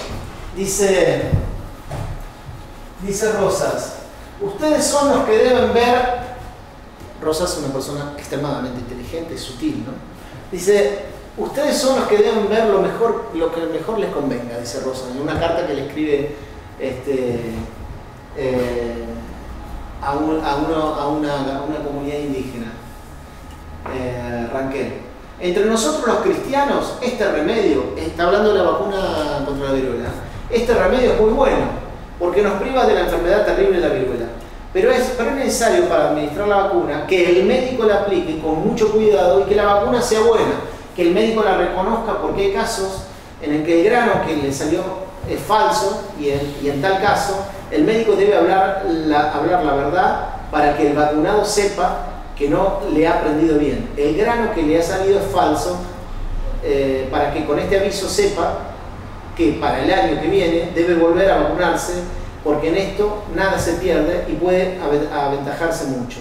La vacuna tiene también la ventaja de que aún cuando algún vacunado le da la, le da la viruela, en tal caso, esta es generalmente mansa. Después de esto, si quieren ustedes que vacune a la gente, puede el médico empezar a hacerlo poco a poco para que pueda hacerlo con provecho y bien hecho y para que tenga tiempo para reconocer prolíficamente a los vacunados. Entonces, dice Fermín Chávez, no solamente procuraba la, vacunación a los, indios, sino que los persuadía además para que le permitiera la entrada de los médicos a la tribu. Y fíjense lo que dice Pincel. ¿Pero esta es una carta a quién? Es una carta que él le dirige a, a una de las tribus ranqueles. Ah. Eh, y le da la opción, ustedes hagan lo que quieran, entre nosotros la vacuna funciona, ustedes opten, fíjense lo que quieren, pero ojo, y les empieza a hablar del médico, ojo, y, es una carta donde claramente está hablando, digamos, de que si se forma el granito de, la vacuna, entonces hay que volver a ponerlo, no ponerlo. Es decir, lo que hace la carta es interesante porque es una pedagogía, una pedagogía de, lo que es lo sanitario, de lo que es este, poder evitar enfermedades, entra la lógica de la prevención. Es decir, bueno, hay una serie de elementos en esa carta que es interesante. Escuchen la inteligencia indígena, porque una de las cosas que a mí me, gusta mucho de los pueblos originarios es el agudo y fino sentido del humor que tienen. Pero esto es una constante en, todo, en toda Latinoamérica. Dice, Pincel apeló a su vez a un humor, lo, que hacía, lo que hacía era, eh, eh, en realidad, eh, Rosa los chantajeaba. Pero escuchen cómo, cómo describe Pincel el chantaje. Dice, Juan Manuel, ser muy bueno, pero muy loco. Me regalaba potrancas, pero un gringo nos debía tajear el brazo. Según él, era un gualicho grande contra la viruela, y algo de cierto debió ser, porque no hubo más viruela por entonces. Pero escuchen, escuchen Juan Manuel ser muy bueno pero muy loco. Me regalaba potranca, o sea, le regalaba caballos. Pero a cambio de regalarle caballos, que a ellos les servían para eh, hacer malones, robar ganado y qué sé yo, eh, a, cambio de regalar, le, le, estajeaba el brazo, dice, dice el pincel.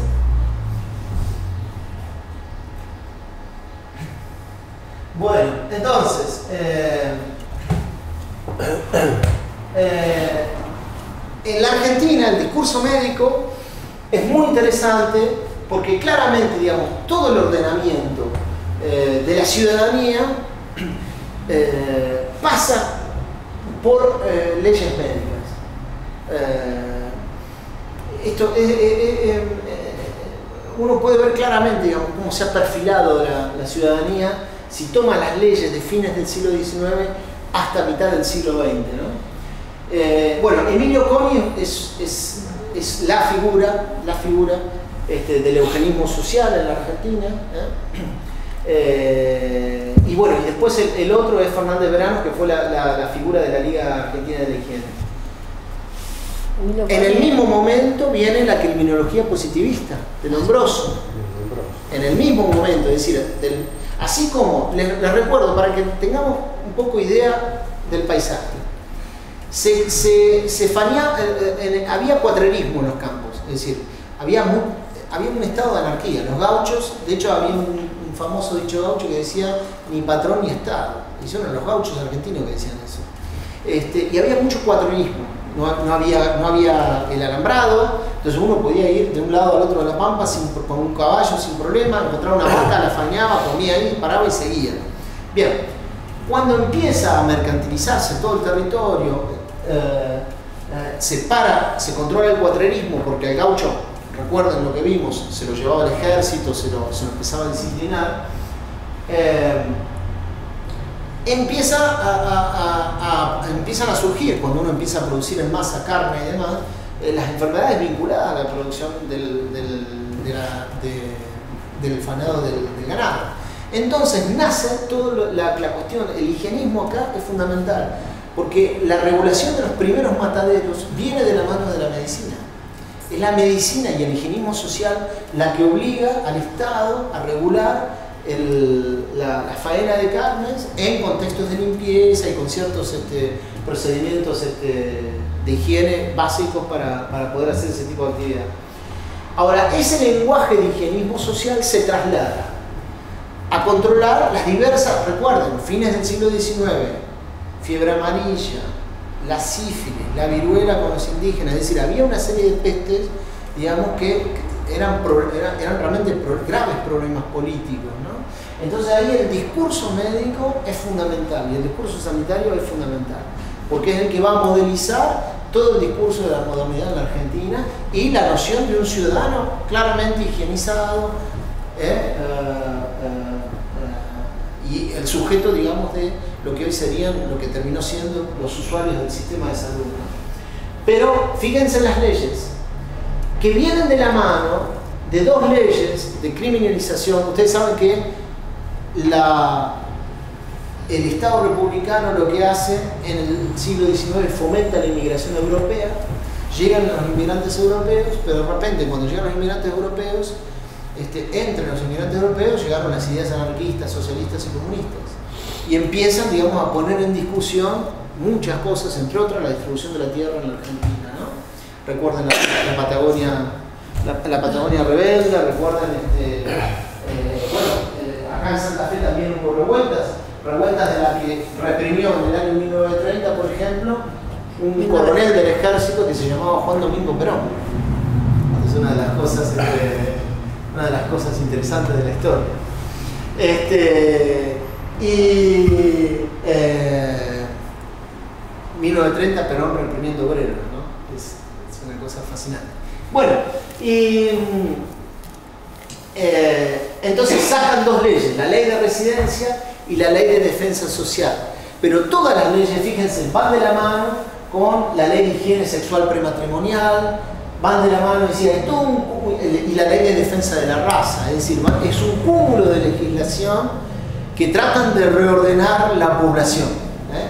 tratan de, este, eh, de modelizar la, la, ley de defensa de la raza. La ley de defensa de la raza, vinculada, es interesantísimo, bueno, tenía que ver con, se le puso así, pero tenía que ver con eh, toda la, educación sexual este, para parar en principio, digamos, la razón médica era la sífilis, pero había una modernización de lo que era el matrimonio, la higiene presexual matrimonial, eh, los comportamientos prematrimoniales, eh, etcétera, etcétera. Entonces, Y el título que se utiliza es raza, pero tenía que ver también con el clima de la época. Pensemos que los escritos de Sarmiento en 1880, los, varios textos de Sarmiento, tenían la palabra raza incorporada por el pensamiento de muchos autores, porque estaban estas ideas evolucionistas en la cabeza, el darwinismo social, etc. Claro. Asociado, asociado, bueno, esa sería una buena traducción al, contexto contemporáneo, o sea, la idea de defensa de la... claro, porque el aborto, el aborto eugenésico Ahí también utilizan esa expresión de defender, ¿no? defender, de proteger la raza. Digamos, a partir de, de evitar los. Pensemos que, a ver, eh, lo que pasa es que la Segunda Guerra Mundial y el discurso de los derechos humanos básicamente focalizó, la idea fue aplicar una censura sobre la palabra raza. Se, censuró la palabra raza. Y, y esto es interesante entenderlo, es decir, producto del, conflicto de la Segunda Guerra Mundial, este, se vieron la necesidad, digamos, eh, en ese momento de discusión, de poner entre paréntesis la cuestión de la raza. Pero todos los discursos, los libros, los textos, hacían y focalizaban sobre la cuestión de la raza. Digamos, más allá de la deriva del nazismo, ¿eh? estamos, hablando de, estamos hablando de textos científicos, de textos este, escolares, etcétera, etcétera. Es decir, la cuestión de la raza estaba... Eh, raza sería, para que hoy sería como, podríamos, se lo utilizaba, por momentos cuando uno lee los textos de, de, aquellos años, es como si fuese, raza sería una especie de sinónimo de culturas, lo que hoy serían culturas, para nosotros. Es decir, pueblos distintos, diferentes, con culturas diferentes. Pero era muy común utilizar, eh, la palabra raza estaba muy instalada en el vocabulario, en el vocabulario científico y en el vocabulario popular. Bien. Eh,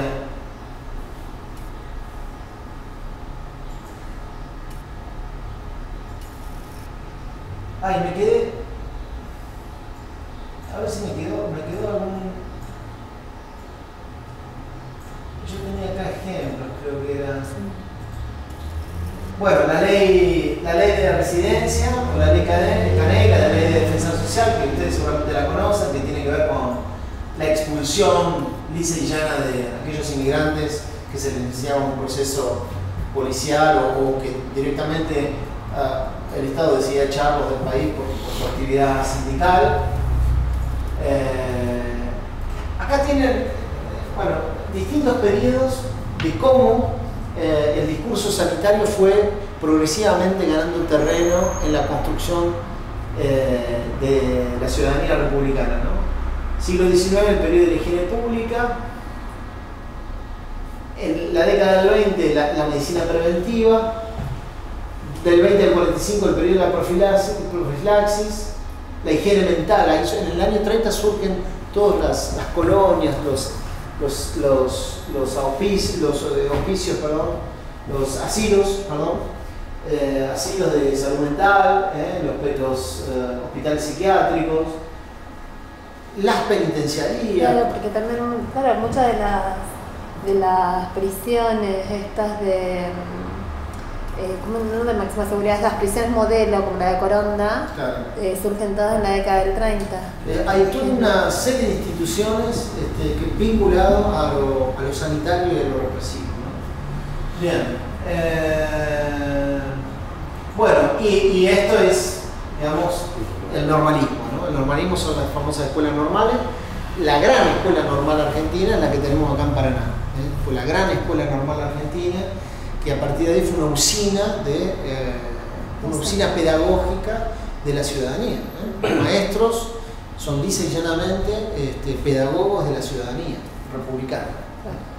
Entonces los maestros están encargados de ocultar el saber indígena, de ocultar las lenguas indígenas, los epistemes de nuestros pueblos, de modelizar a los ciudadanos, ¿eh? de hacerlos eh, buenos ciudadanos en función de las épocas. ¿no? Bien, eh, recuerden que el testimonio que pusimos reciente de, la ñaña decía claramente que había maestras extranjeras, Sarmiento también llamó, convocó maestras de afuera para poder enseñar y empezar a todo el plan pedagógico del Estado. ¿no?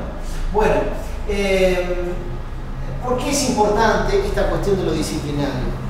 Porque fíjense que el proyecto civilizatorio se vehiculiza a través de esta herramienta.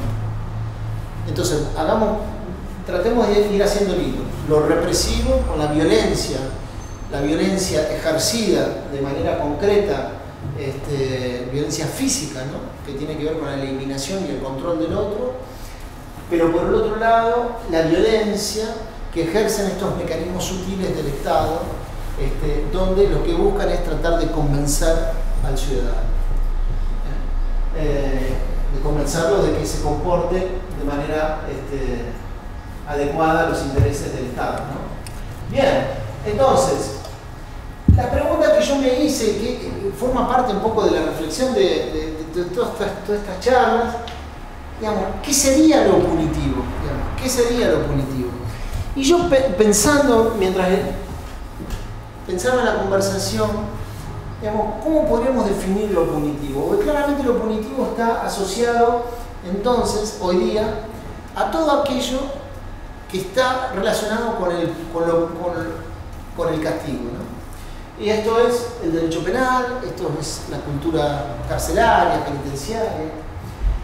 Pero me parece que desde una perspectiva de colonial, eh, y después de haber hecho ese recorrido, digamos, de, la violencia, eh, de, la modernidad de la que describe Dussel, después de haber hecho el recorrido por los dispositivos disciplinarios, me parece, me parece que tendríamos que incorporarlo a la definición de lo punitivo, porque es lo que subyace, en definitiva, en cualquier solución penal. Eh, en cualquier solución penal. Y vuelvo, insisto, los invito, los convoco a releer el texto de Rita Segato, que me parece que refleja un poco el espíritu de, esto que, eh, de esta definición de lo punitivo. Entonces lo punitivo sería, lo dejo abierto, digamos, es decir, como una, para discutirlo, pero en principio yo pienso que sería la regulación del otro a partir del fundamento mítico de las prácticas represivas y disciplinarias del proyecto de la modernidad colonialidad. Es decir, cómo regular al otro, cómo regular al otro a partir de prácticas represivas y disciplinarias del proyecto de modernidad colonialidad. Ahora, estas prácticas represivas no son solamente prácticas represivas del, pasado, que son las que instauran la que instauran la actual violencia penal. Recordemos la sentencia de Tupac Amaru. Entre las prácticas represivas, uno de los fundamentos era que Tupac Amaru se creía dueño de estas tierras. Bien, entonces ahí está la violencia claramente eh, represiva, vinculada, digamos, a la cuestión del control, digamos, de, la tierra, pero además una concepción de la tierra eh, que está en juego, ¿cierto?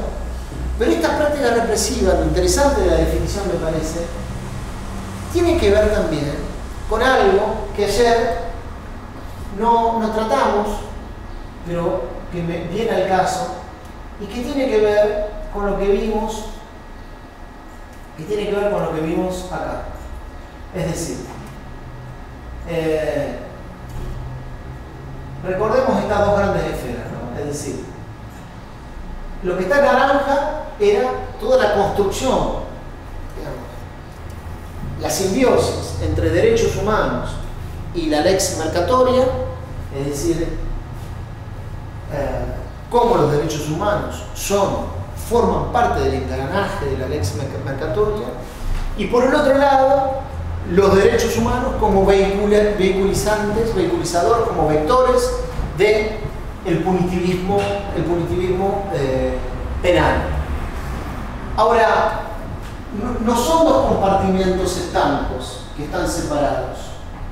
En realidad son, son dos compartimentos eh, que funcionan ah, y que se autorreferencian y que son como ah, y que funcionan de manera ah, cuando uno cuando uno tiene inconvenientes, cuando hay problemas para aplicar la lex mercatoria, enseguida se recurre, digamos, a eh, el aparato represivo para modelizar o al aparato disciplinario, para, al aparato represivo para, para, para encauzar y al aparato y para controlar digamos, las oposiciones a la ley migratoria y por el otro lado al aparato disciplinario para modelizar conductas y ciudadanos. Recuerden lo que hablábamos ayer, si debatir poner la frontera a 800 metros, a 200 metros, a 100 metros, digamos, para la fumigación, eh, y pensemos en los movimientos ecológicos en Argentina. Bueno, cuando uno empieza a ver, cuando uno empieza a ver,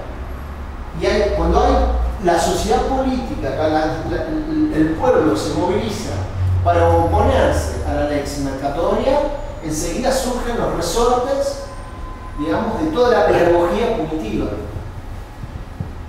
Es decir, que lex mercatoria y, punitivismo en la modernidad van de la mano. Van de la mano. Pensemos en los movimientos sociales, pensemos en la criminalización de la protesta en, eh, en, Famatina, en la criminalización de la protesta en Neuquén, ¿eh? por el, tema de Chevron. Pensemos en la cantidad de conflictos mineros y ambientales que hay en toda Latinoamérica.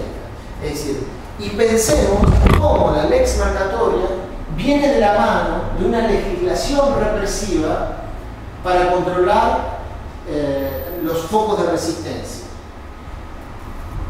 El caso argentino es uno más de lo que ha sucedido en Chile o lo que ha sucedido en Ecuador o lo que ha sucedido en otros, en otros países latinoamericanos, que es eh, la ley antiterrorista ley antiterrorista que abre el paraguas para que pueda ser utilizada en contra de los militantes sociales. Entonces ahí la simbiosis entre el ex mercatorio y, y, lo punible, lo punitivo y el discurso penal es clarísimo.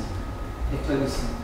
hay una colaboración y reivindicación entre una y la otra. Bien, entonces, eh, eh, después voy a ponerlo, lo voy a agregar al cuadro eh, para, para, que esté ese elemento también ¿no? y mencionar las leyes. Las leyes, las leyes con el mote de antiterrorista y demás en Chile son muy fuertes, por ejemplo, han criminalizado toda la lucha mapuche. Hay muchísimos dirigentes mapuches detenidos en Chile, eh, producto de disputas muy fuertes de proyectos hidroeléctricos en el sur de, sur de Chile. Eh, hay eh, la cantidad de dirigentes mapuches detenidos es impresionante eh, y son muy duras las legislaciones allá. Pero acá en Argentina el gobierno kirchnerista sancionó la ley antiterrorista, este, hubo casos que se solucionaron bien, digamos, pero la ley está ahí como un manto. en este, realidad se incorporó en toda Latinoamérica, ¿no? Por la presión, de, en toda la presión de Estados Unidos. Que tiene que ver con, la, con, las, con el tema de las eh, de la explotación minera, que tiene que ver con el, tema de los emprendimientos este, energéticos, etcétera, etcétera. Entonces, eh, ahí la simbiosis entre lex mercatoria y, y legislación penal es, es, es, un engranaje muy así. Bueno, entonces, volviendo a la cuestión de cómo sería esa definición. Por eso les digo, digamos, pensemos, si, ya, si bien eh, tenemos la noción de prácticas represivas, ya es una gimnasia que viene desde la conquista, pero que perdura hasta nuestros días, con estas leyes que estábamos hablando.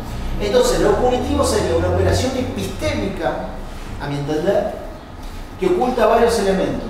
La racialización, es decir, la violencia primitiva, que está a la base del sistema represivo, la operación epistémica de borramiento del otro, a partir del ejercicio de nuevas subjetividades este, republicanas, y la distinción ideológica entre esferas civiles y penales del, derecho. Se trata de una regulación de un nuevo sujeto autorizado, creado, poco importa si es autorizado o si, es eh, creado, del ciudadano republicano. Me parece que, digamos, yo llegué a esta, a esta, a esta definición de lo punitivo porque me parece que encuadra digamos, todas estas facetas, estas variantes eh, del ejercicio, digamos. Es para, eh, para pensarlo, ¿no? Pero me parece que condensa una definición de lo que sería lo punitivo en, nuestro marco, digamos, en nuestra historia colonial, ¿no? Entonces la violencia primitiva, el borramiento del otro y esta, esta, distinción entre, ideológica. ¿no? Por lo tanto, el derecho civil, en esta definición, el derecho civil, todo el derecho, también es punitivo, también es un orden punitivo. Y esto, esta para eso sirve esta definición, para desentrañar la violencia que hay en aquellas áreas del derecho que nos parecen que son, ah bueno, pero todo el mundo tiene derecho a casarse. Entonces, en el derecho al casamiento no habría en principio, digamos, violencia, eh, violencia eh, represiva en el derecho al casamiento, ¿no? Entonces, si lo pensamos así, ah, bueno, todos tenemos derecho a casarnos, no habría violencia represiva. Sí, hay una violencia represiva de base, de origen, epistémica. ¿Cuál es? La concepción de la subjetividad del sujeto. ¿Qué es el sujeto? Digamos, la ritualización, la religión que está puesta en juego. Entonces, fíjense que distintos institutos, ¿querés decir algo? No, no, que tiene que ver con el, con el D, la operación epistémica del borramiento del otro. Ese sería el crimen perfecto, porque matar el cuerpo no sería nada, pero ya destruir la subjetividad del otro en el colectivo es el crimen perfecto, ¿no? Porque no tiene posibilidad de, restauración. Se incorpora una nueva subjetividad a través del disciplinamiento y no, tiene retroceso. Y bueno, era el sueño de los reyes católicos. Te convertís o te convierto y si no te puedo convertir te expulso. Un poco está en juego las mismas dinámicas las mismas dinámicas de cómo, cómo, qué hacer con el problema del otro, cómo, cómo, qué hago con el otro. Por eso es el perfecto, ¿verdad? Cuando uno puede modelizar las subjetividades y ya el otro no es el problema, desaparece como tal.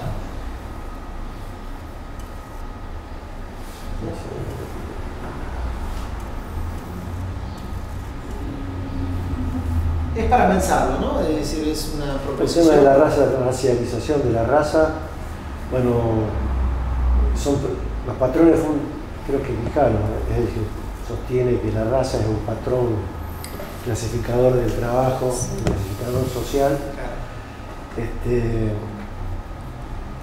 y que, que, a partir diríamos, del descubrimiento de América, descubrimiento de América entre comillas, este, el tema de la raza sí es un un patrón fundante que actualmente sigue, o sea, hay patrones fundantes desde, el, descubrimiento de América que persisten como una matriz eh, actualmente. para la división del trabajo. Exactamente, porque si uno hace una lectura, digamos, un poquito más atenta en, el medio social, eh, va a ver que la graduación del color tiene que ver con el tipo de trabajo. actualmente, ¿no? O sea, eso es fundante de aquella época. De aquella época. Bueno, y para cerrar, eh, yo creo que hemos eh, ay, mirá las últimas incorporaciones que yo hice no están. Ay, qué curioso. Bueno, eh, eh, a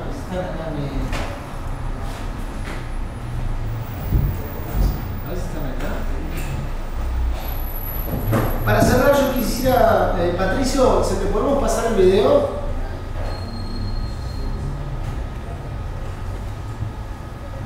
Ah, mira. Patricio.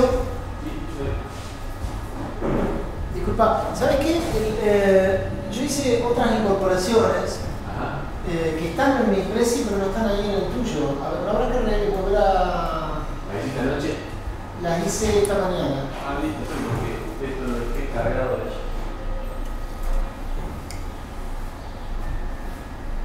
Bueno, y para cerrar entonces, vamos, yo quiero, y en este esfuerzo de combatir eh, esta encerrona del monismo jurídico, de dividir en distintas áreas civil, comercial, etcétera, a mí me gustaría abordar eh, la cuestión de lo comunitario, para que entendamos en nuestras cabezas que hay otra manera de construir lo, social, que no pasa solamente por esta división que se hace y en la cual estamos todos, digamos, colonizadas. ¿no? Cada vez que pensamos nosotros en lo, en lo, en lo social, cada vez que pensamos nosotros en lo colectivo, pensamos en, bueno, cuáles son las formas con las cuales podemos podemos manejarlo. Bueno, una cosa es la empresa privada, la lógica privada, la lógica del lucro, y por otro lado tenemos todo el campo, digamos, de las lógicas, las lógicas públicas, ¿no? las lógicas del Estado, de lo público. Y, esa, y, esa, esos dos campos, esos dos campos son los campos, este, los campos que dominan y que dominan nuestras conciencias, Pero en realidad lo público, lo público, eh, no es, no es digamos, la única solución que tenemos, no es, no es la solución, porque termina siendo la misma solución, digamos, es el Estado termina apropiándose de lo que sería lo público y el Estado es un intelecto y no es, lo, no es aquello, esa otra cosa que es eh, lo comunitario. ¿eh? Lo comunitario es una cosa completamente distinta. Lo comunitario es una categoría indígena, son formas de vida indígenas que eh, son completamente distintas a la lógica privada del lucro o a la lógica de apropiación del Estado. Entonces, eh, yo quería eh, abordar, bueno, rápido, esto ya lo mencionamos, la encerrona entre lo civil y lo penal, cada vez que pensamos lo punitivo, yo les mencioné que los abolicionistas europeos la solución que proponen es aferrarse al derecho civil. Pero cuando si yo me aferro al derecho civil, escondo la violencia represiva ¿eh? de nuestra historia colonial. Eh, y aparte es una operación epistemológica que aniquila otros saberes, ¿eh? que borra otros saberes, en este caso los saberes de justicia indígena. Bien, entonces,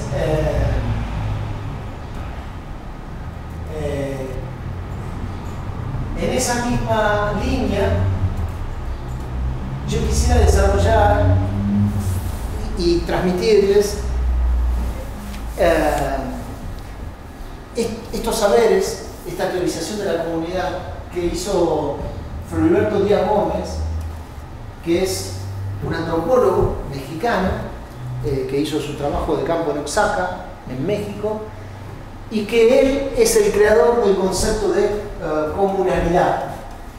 ¿Qué es la comunalidad? Él se dijo, yo soy un antropólogo que vengo con un saber eurocéntrico a estudiarlos, este, entonces voy a deconstruir digamos, mi propia historia colonial y le transmito todos los saberes de la ciencia a los pueblos indígenas para que ellos empiecen a relacionarse con el Estado de otra manera y que tengan los elementos del saber eurocéntrico para poder vincularse eh, eh, con el Estado de otra manera. Entonces, él es un gran estudioso de la comunalidad, es un tipo que propugna la comunalidad como forma política ¿eh? novedosa, digamos, novedosa, no es para nada novedosa, sino en este contexto de lucha con, la modernidad, y aparte instaura el, el concepto de comunalidad, es decir, transferir a la comunidad los saberes de la ciencia antropológica para que la comunidad se los apropie para relacionarse con el Estado mexicano desde otro lugar. Entonces construye nuevos sujetos políticos, claramente. ¿no? Es decir, fíjense, se corre del republicanismo y el problema empieza a ser el Estado mexicano. Bien. Eh, ¿Qué es una comunidad para, para Filiberto Díaz Gómez? Es un espacio territorial demarcado y definido por la posesión de la tierra. ¿no? una historia común que circula de boca en boca y de una generación a otra, una variante de la lengua del pueblo, a partir de la cual identificamos nuestro idioma común, una organización que define lo político, lo cultural, social, civil, económico, religioso, un sistema de procuración y administración de justicia. Eso es una comunidad, eh, una comunidad para Floriberto Díaz Gómez. Si ustedes, fíjense los elementos un territorio, por eso siempre, cada vez que escuchan un líder indígena, siempre va a hablar del territorio, la necesidad del territorio.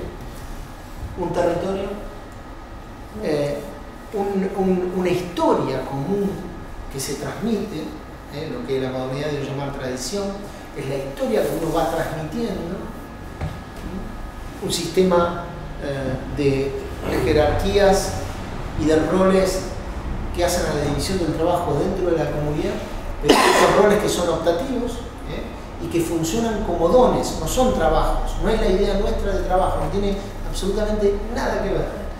Uno ocupa un rol en la comunidad, es un don que le da la comunidad y lo hace por un tiempo y después hace otro trabajo. Eh, el sistema de liderazgos, ¿eh? que generalmente está anclado en la idea del respeto a los ancestros, porque los ancestros son los que vienen de más lejos y por lo tanto son los que conservan la memoria de la comunidad. La idea de lo comunitario, es decir, cómo se resuelven los conflictos. Los conflictos se resuelven en la comunidad. ¿Y los conflictos qué significan? Problemas de la comunidad. Los, conflictos no son problemas de una persona. Si alguien comete un acto que va en contra, digamos, de la dinámica comunitaria, la pregunta que se hace la comunidad no es por qué esa persona, que yo, robó una vaca o lo que sea. La pregunta no es esa, la pregunta es por la misma comunidad. ¿en qué falló la comunidad para que ese, ese comunero haya tenido que recurrir a eso? Entonces fíjense que es una, la, comunidad trabaja con una noción, digamos, de consenso totalmente distinta a la nuestra. Nosotros vivimos con la idea republicana del consenso democrático. Un voto, un voto de más hace a una mayoría. En cambio ellos no, ellos trabajan con la idea de un consenso, este, un consenso total de la comunidad todos tienen que estar convencidos para poder hacer lo común, para poder hacer la comunidad. Ahora, fíjense que esta noción de llévenla, ahora pónganla en relación con la propiedad privada, pónganla en relación con lo público. Eso es otra episteme, otra manera de hacer y de construir social. Eh, esto, esto, esto es una práctica política de los pueblos originarios, pero que se está eh, desplegando a muchísimas organizaciones, a muchísimos colectivos. ¿Por qué dice que no es indígena? Eh, ¿Por qué no es indígena? Porque es una práctica política que, que está haciendo, es, viene del campo de lo indígena, ah. ¿eh? pero está reformulada con, con otros condimentos, porque es un instrumento político para poder hacer otras comunidades. Y es lo que está pasando, es lo que está pasando en muchos lugares, en Bariloche, eh, hay, eh, hay muchos colectivos que se han acercado digamos, a, los colectivos mapuches y, han, empezado a trabajar con esta idea y a constituir comunidades con esta idea. Este, pero pasa en, todo, en toda Latinoamérica, es decir, son nuevas formas del hacer político nuevas formas de hacer político este, para pensar la relación con el Estado, con el ambiente, con un territorio. Hay una noción de la tierra, la tierra no es una mercancía, ¿eh? la tierra es un ser más. Eh, hay un sistema de rotación, es, muy interesante. Las experiencias indígenas, sobre todo lo habíamos visto ya con, cuando vimos de, de Xavier Arroz, pero eh, de cómo hay sistemas de rotación, cuando no hay no todas las familias tienen, por ejemplo, tierra, en las comunidades indígenas van rotando las familias para que puedan eh, todos trabajar de la misma manera y poder aportar su don a la comunidad. Entonces, eh, estas son nuevas formas de resistencia que están impregnando los colectivos políticos en toda Latinoamérica.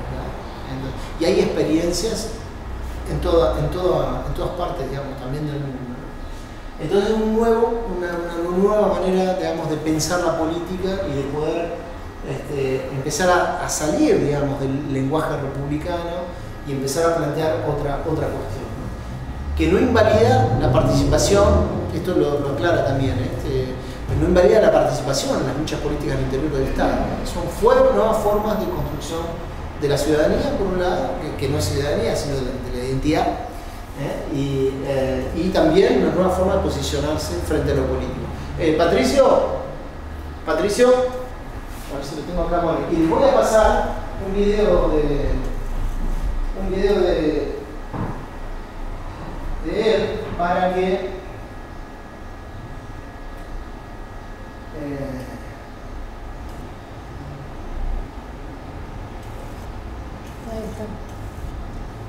para que porque dice unas cosas sobre el Estado, la disciplinariedad que me parece importante.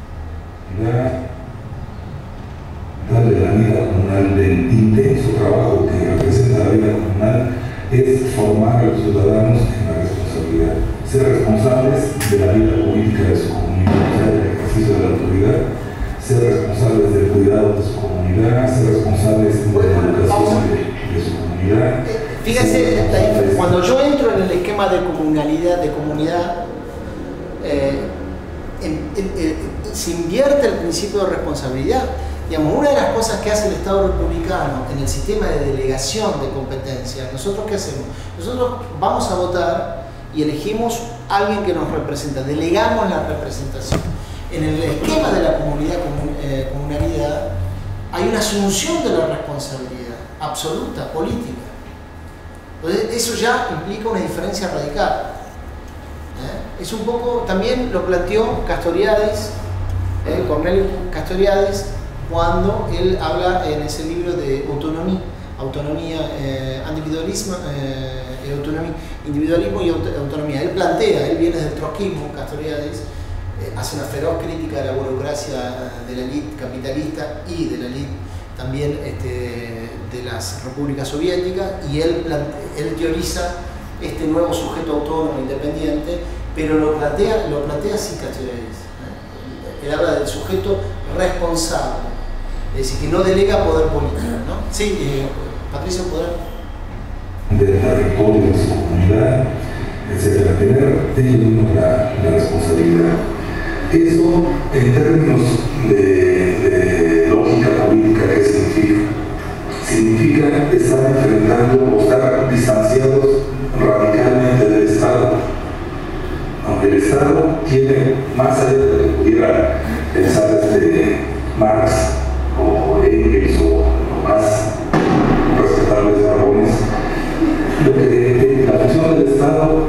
la podemos entender como la necesidad de desmovilizar a la ciudadanía. La forma de control del Estado como forma de control tiene su éxito en la desmovilización de la ciudadanía. ¿Cómo desmovilizas a la ciudadanía? A través de las armas como las dictaduras o a través de la generación de responsabilidad, como lo hacen las democracias. ¿Cómo,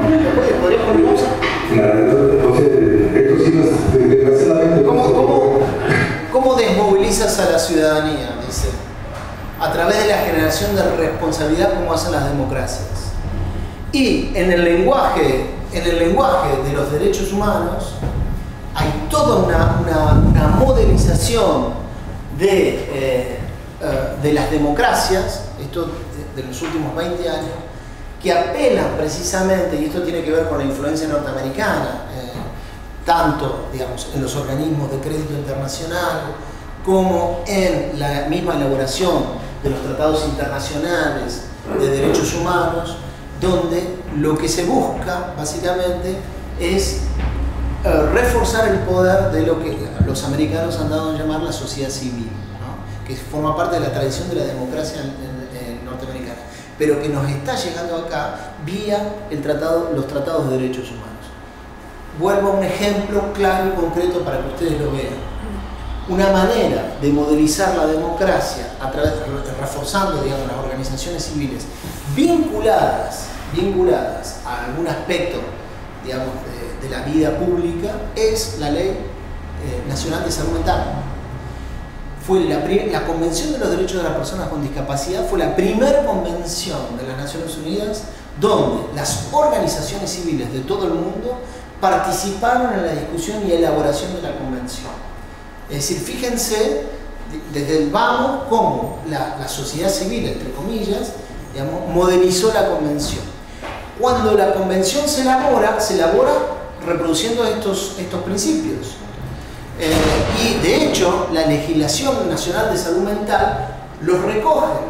Y en la estructura de participación de, eh, eh, tanto del órgano de revisión, por ejemplo, o que es el órgano que controla y, sigue adelante con, y, digamos, supervisa las internaciones, digamos, como también en, el mismo, en la misma estructura de la ley, está garantizada la participación de las organizaciones de derechos humanos y de usuarios. Entonces, este, digamos, esta modelización que se da, les cito el caso del ejemplo de salud mental, pero tenemos en otros ámbitos también digamos, la, misma, la misma tecnología. Que tiene que ver con un modelo de, modelo de democracia. Eh, ¿Podés seguir? Pero la, la elegir en urnas a una autoridad y no importar quién gane, es ser irresponsable de la condición política de la vida de una comunidad. Eso es diametralmente distinto a elegir a la, a la autoridad y estar pisando los talones a él, a su esposa, a sus hijas, a su querida, a la que sea, hasta que cumpla ese corazón. Eso es completamente diferente. Es, es ser responsable o no. Entonces, eh, el objetivo de la vida comunal, ¿para qué sirve ser autoridad tantos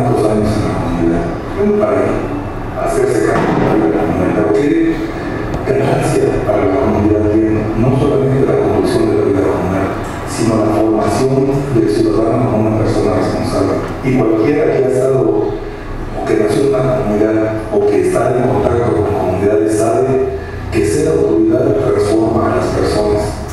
Aún irresponsables como los maestros, al ser autoridades municipales se transforman ¿no? y empiezan a pensar como si no fueran maestros.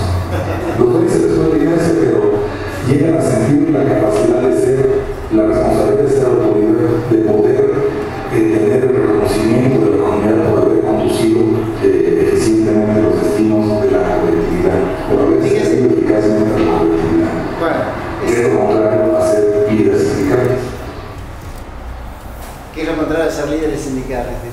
Eh, bueno, con esto yo quería un poco cerrar es- eh, para que veamos, este, ¿Doris? Eh, para que veamos, este, entonces, eh, para que veamos un poco la otra episteme, ¿eh? que es la episteme, la episteme de, eh, de la noción de lo comunitario en oposición a, en oposición a lo civil, a, lo que sería la lex mercatoria, y por el otro lado, en, en oposición a lo público como supuestamente opuesto a la lex. Como supuestamente, digo entre comillas, porque ustedes saben que el Estado este, también, digamos, es un actor dentro del capitalismo. Entonces me parece que esas, digamos, eh, el recurrir a, estas epistemes nos, posiciona en en un lugar completamente novedoso para poder producir nuevas subjetividades, nuevos espacios y, pensar de manera alternativa este, a estos compartimientos estancos que establece el monismo jurídico eh, eurocéntrico eh, y que son una encerrona, digamos, y que nos impide, ah, que nos impide poder pensar nuevas, nuevas este, eh, formas políticas para producir ciencia social, para producir comunidad, para producir, este, en fin, acción política y transformar nuestro mundo. Así que bueno, hemos llegado al final de estas conversaciones coloniales. Eh, eh, espero que, bueno, eh, hoy somos poquitos, ayer fuimos muchos, pero espero que, bueno, que les hayan pasado bien, que se hayan divertido, pero sobre todo, este, bueno, que nos vayamos de estos encuentros por lo menos desconfiando, eh, en principio de la lengua que hablamos, este, en segunda instancia de, cómo, pensamos ciertas cosas también, este, y empezar a relativizar un poco, digamos, este, el eurocentrismo. Yo creo que es, fundamental también de cara a pensar, eh, a pensar la política, digamos, ¿no? Eh, estamos inmersos en el medio de una lucha y una disputa política.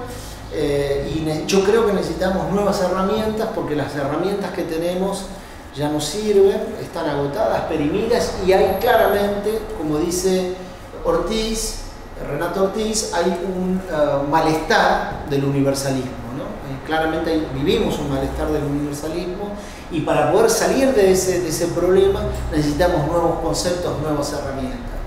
En nuestro caso particular, y con, esto, en nuestro caso particular, la perspectiva de colonial eh, ha, eh, ha aportado ya lo hemos visto a lo largo de todas estas conversaciones, pero ha aportado conceptos, conceptos novedosos, conceptos que han servido para romper el monismo jurídico tanto en Bolivia como en, eh, Ecuador, como así también en Colombia, Honduras, en México, en algunos estados de México, y acá en Argentina, en, la provincia de Neuquén, donde se, se, firmó la declaración de Pulmarí entre las comunidades mapuches de Neuquén y la Fiscalía de la provincia de Neuquén. y esos aportes vinieron desde la perspectiva de colonial a partir del concepto de interculturalidad, como un concepto político ¿eh? de reconocimiento de las diferencias en un pie de igualdad, no en un pie de sometimiento, sino en un pie de igualdad, de intercambio este, cultural eh, y de negociación política. Eh, este concepto de interculturalidad fue el concepto que se plasmó en la constitución de, de, de Montecristi, eh, en, el 98 eh, en, Ecuador y es el concepto que manejan digamos, este, los movimientos sociales para plantearse frente al eurocentrismo eh, y defender medios de vida alternativos, diferentes, epistemes distintas, ya no solamente dentro del plano del indígena, del mundo indígena, sino también dentro del plano de los colectivos sociales, de pensar otra manera de hacer política de intervenir de otra manera, de otro lugar, pero a partir del respeto de formas organizativas que el Estado republicano no da lugar. Porque el Estado republicano tiene serias dificultades en reconocer otras. Tiene graves problemas. Ya lo vimos cuáles son los problemas. El punitivismo, la lex mercatoria, que son nociones epistémicas que impiden otras formas, otras formas de, de vida y de relación. Y de relación. Y yo quisiera cerrar eh, estas charlas con, leyéndole eh, parrafitos nada más eh, de... Eh, ¿Lo pusimos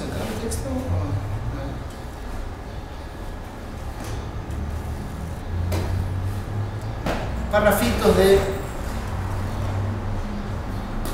este autor, José Efterman, que es un filósofo, él se formó en Europa, ¿eh? suizo, y se fue a vivir a, Bolivia y bueno, terminó eh, viviendo con comunidades aymaras y quichuas. Y el trabajo eh, de este texto es, es fíjense el título, dice Filosofía Andina, estudio intercultural de la sabiduría autóctona andina. Lo que hace él es un trabajo muy interesante porque utiliza, les explica a los eurocéntricos, les explica filosóficamente en el lenguaje de la filosofía eurocéntrica, les explica cuáles son las, para que entiendan las categorías del pensamiento indígena. Y yo solamente quería leerles eh, algunos, algunos, este, algunos pasajes eh, que están en la base de la crítica que hacemos a los derechos humanos. Eh, recuerden lo que hablamos ayer, el trípode de derechos humanos, la, idea de la individualidad, la idea lo punitivo, pero la idea de la individualidad había lo que vehiculizan los derechos humanos es una idea de un sujeto. ¿eh? Hay una idea de lo que es un sujeto para los derechos humanos. Bueno, y entonces yo quería, para que veamos, digamos, la fuerte raigambre eurocéntrica de la definición de individualidad que prima en todos los tratados de derechos humanos, quería cerrar con estos, con estos comentarios de Esterman de la noción de subjetividad en la filosofía andina. Cuando él dice filosofía andina está hablando de la filosofía aymara y quechua. Dice, para la filosofía andina, lo primordial no son uh, los relata. En este caso, él habla en un lenguaje académico, ¿no? Eh, en este caso, sujeto y objeto, sino la relacionalidad o la relación misma. Hasta podemos afirmar lo que para el espíritu occidental resulta absurdo. Hay una relación sin sujeto y objeto para la filosofía andina. Es decir, para la filosofía andina Si yo dialogo con el compañero, no hay dos personas que están dialogando, es la relación lo que sucede. El hombre, runa, entonces no es un sujeto en sentido estricto, el centro de actividad, el punto de partida para el conocimiento del mundo, el punto de vigilancia y observación, sino ante todo es relacionalidad. No se puede definir al runa mediante concepciones ontológicas o nociológicas. Esto es lo que decíamos ayer, no podemos dar una definición, la misma lengua no permite hablar del yo. Siempre es una actividad y al, final de esa actividad, de ese sustantivo, de ese adjetivo, viene la partícula que da eh, lugar al sujeto o los sujetos que están interviniendo en esa relación. Hasta el lenguaje es así, el aymara o el quicho. No se puede definir alguna mediante concepciones ontológicas o nociológicas, sino por medio de concepciones relacionales. Por eso, prácticamente es imposible e infructífero tratar de buscar un equivalente en la, filosofía, andina para el concepto occidental de sujeto. La misma concepción de subjetividad, como se nos presenta en la modernidad occidental, tiene presupuestos culturales que resultan en gran medida inconmensurables con los presupuestos culturales andinos. Esta es una de las razones por las que el hombre foráneo no entiende o no puede entender la extrañeza que manifiesta el runa, el hombre, frente a los valores supuestamente universales de individualidad, personalidad, responsabilidad personal, inferioridad, interioridad, perdón, y autenticidad. Son mundos que nos separan. Pero a la vez podemos intentar atender puentes interculturales de mutuo respeto, de mutuo respeto por la alteridad de cada uno de estos paradigmas. El hombre andino entonces define su identidad, otro concepto, concepto occidental muy cargado, es decir, los indígenas no manejan la noción de identidad. El hombre andino entonces define su identidad en y a través de relaciones. Es en sí mismo un chacana, un puente o un nudo de múltiples conexiones y relaciones. Entonces, eh, fíjense, esta concepción de la vida, de la vida en relación, un puente, y aparte un puente que varía en función de cómo vamos, cómo vamos moviéndonos en la, en la vida social. Entonces, no es un sujeto, son, eh, son múltiples relaciones en función de la riqueza de la vida social. Entonces, piensen esa, esa forma de vida y piensen la noción de subjetividad que vehiculizan los universales, en este caso los, los derechos humanos. Entonces ahí claramente vemos cómo los derechos humanos forman parte del proyecto civilizatorio. Y ese es el drama, y esa es la gran paradoja, la gran paradoja. Así que con esta reflexión y con esta lectura de, de este filósofo yo quería cerrar. Y nada, eh, abierto a. Ya tienen todos mi dirección de mail y demás para que nos contactemos con los compañeros también que nos vinieron y que sigamos en contacto y que bueno, ojalá podamos producir otro tipo de comunidad. ¿Eh? Bueno, no sé si quieren decir algo. ¿Eh? Bueno. bueno, nos vemos. Gracias por todo, gracias por venir. ¿eh? Muchísimas gracias. Y nada. Muy bien. Dale, hasta, luego.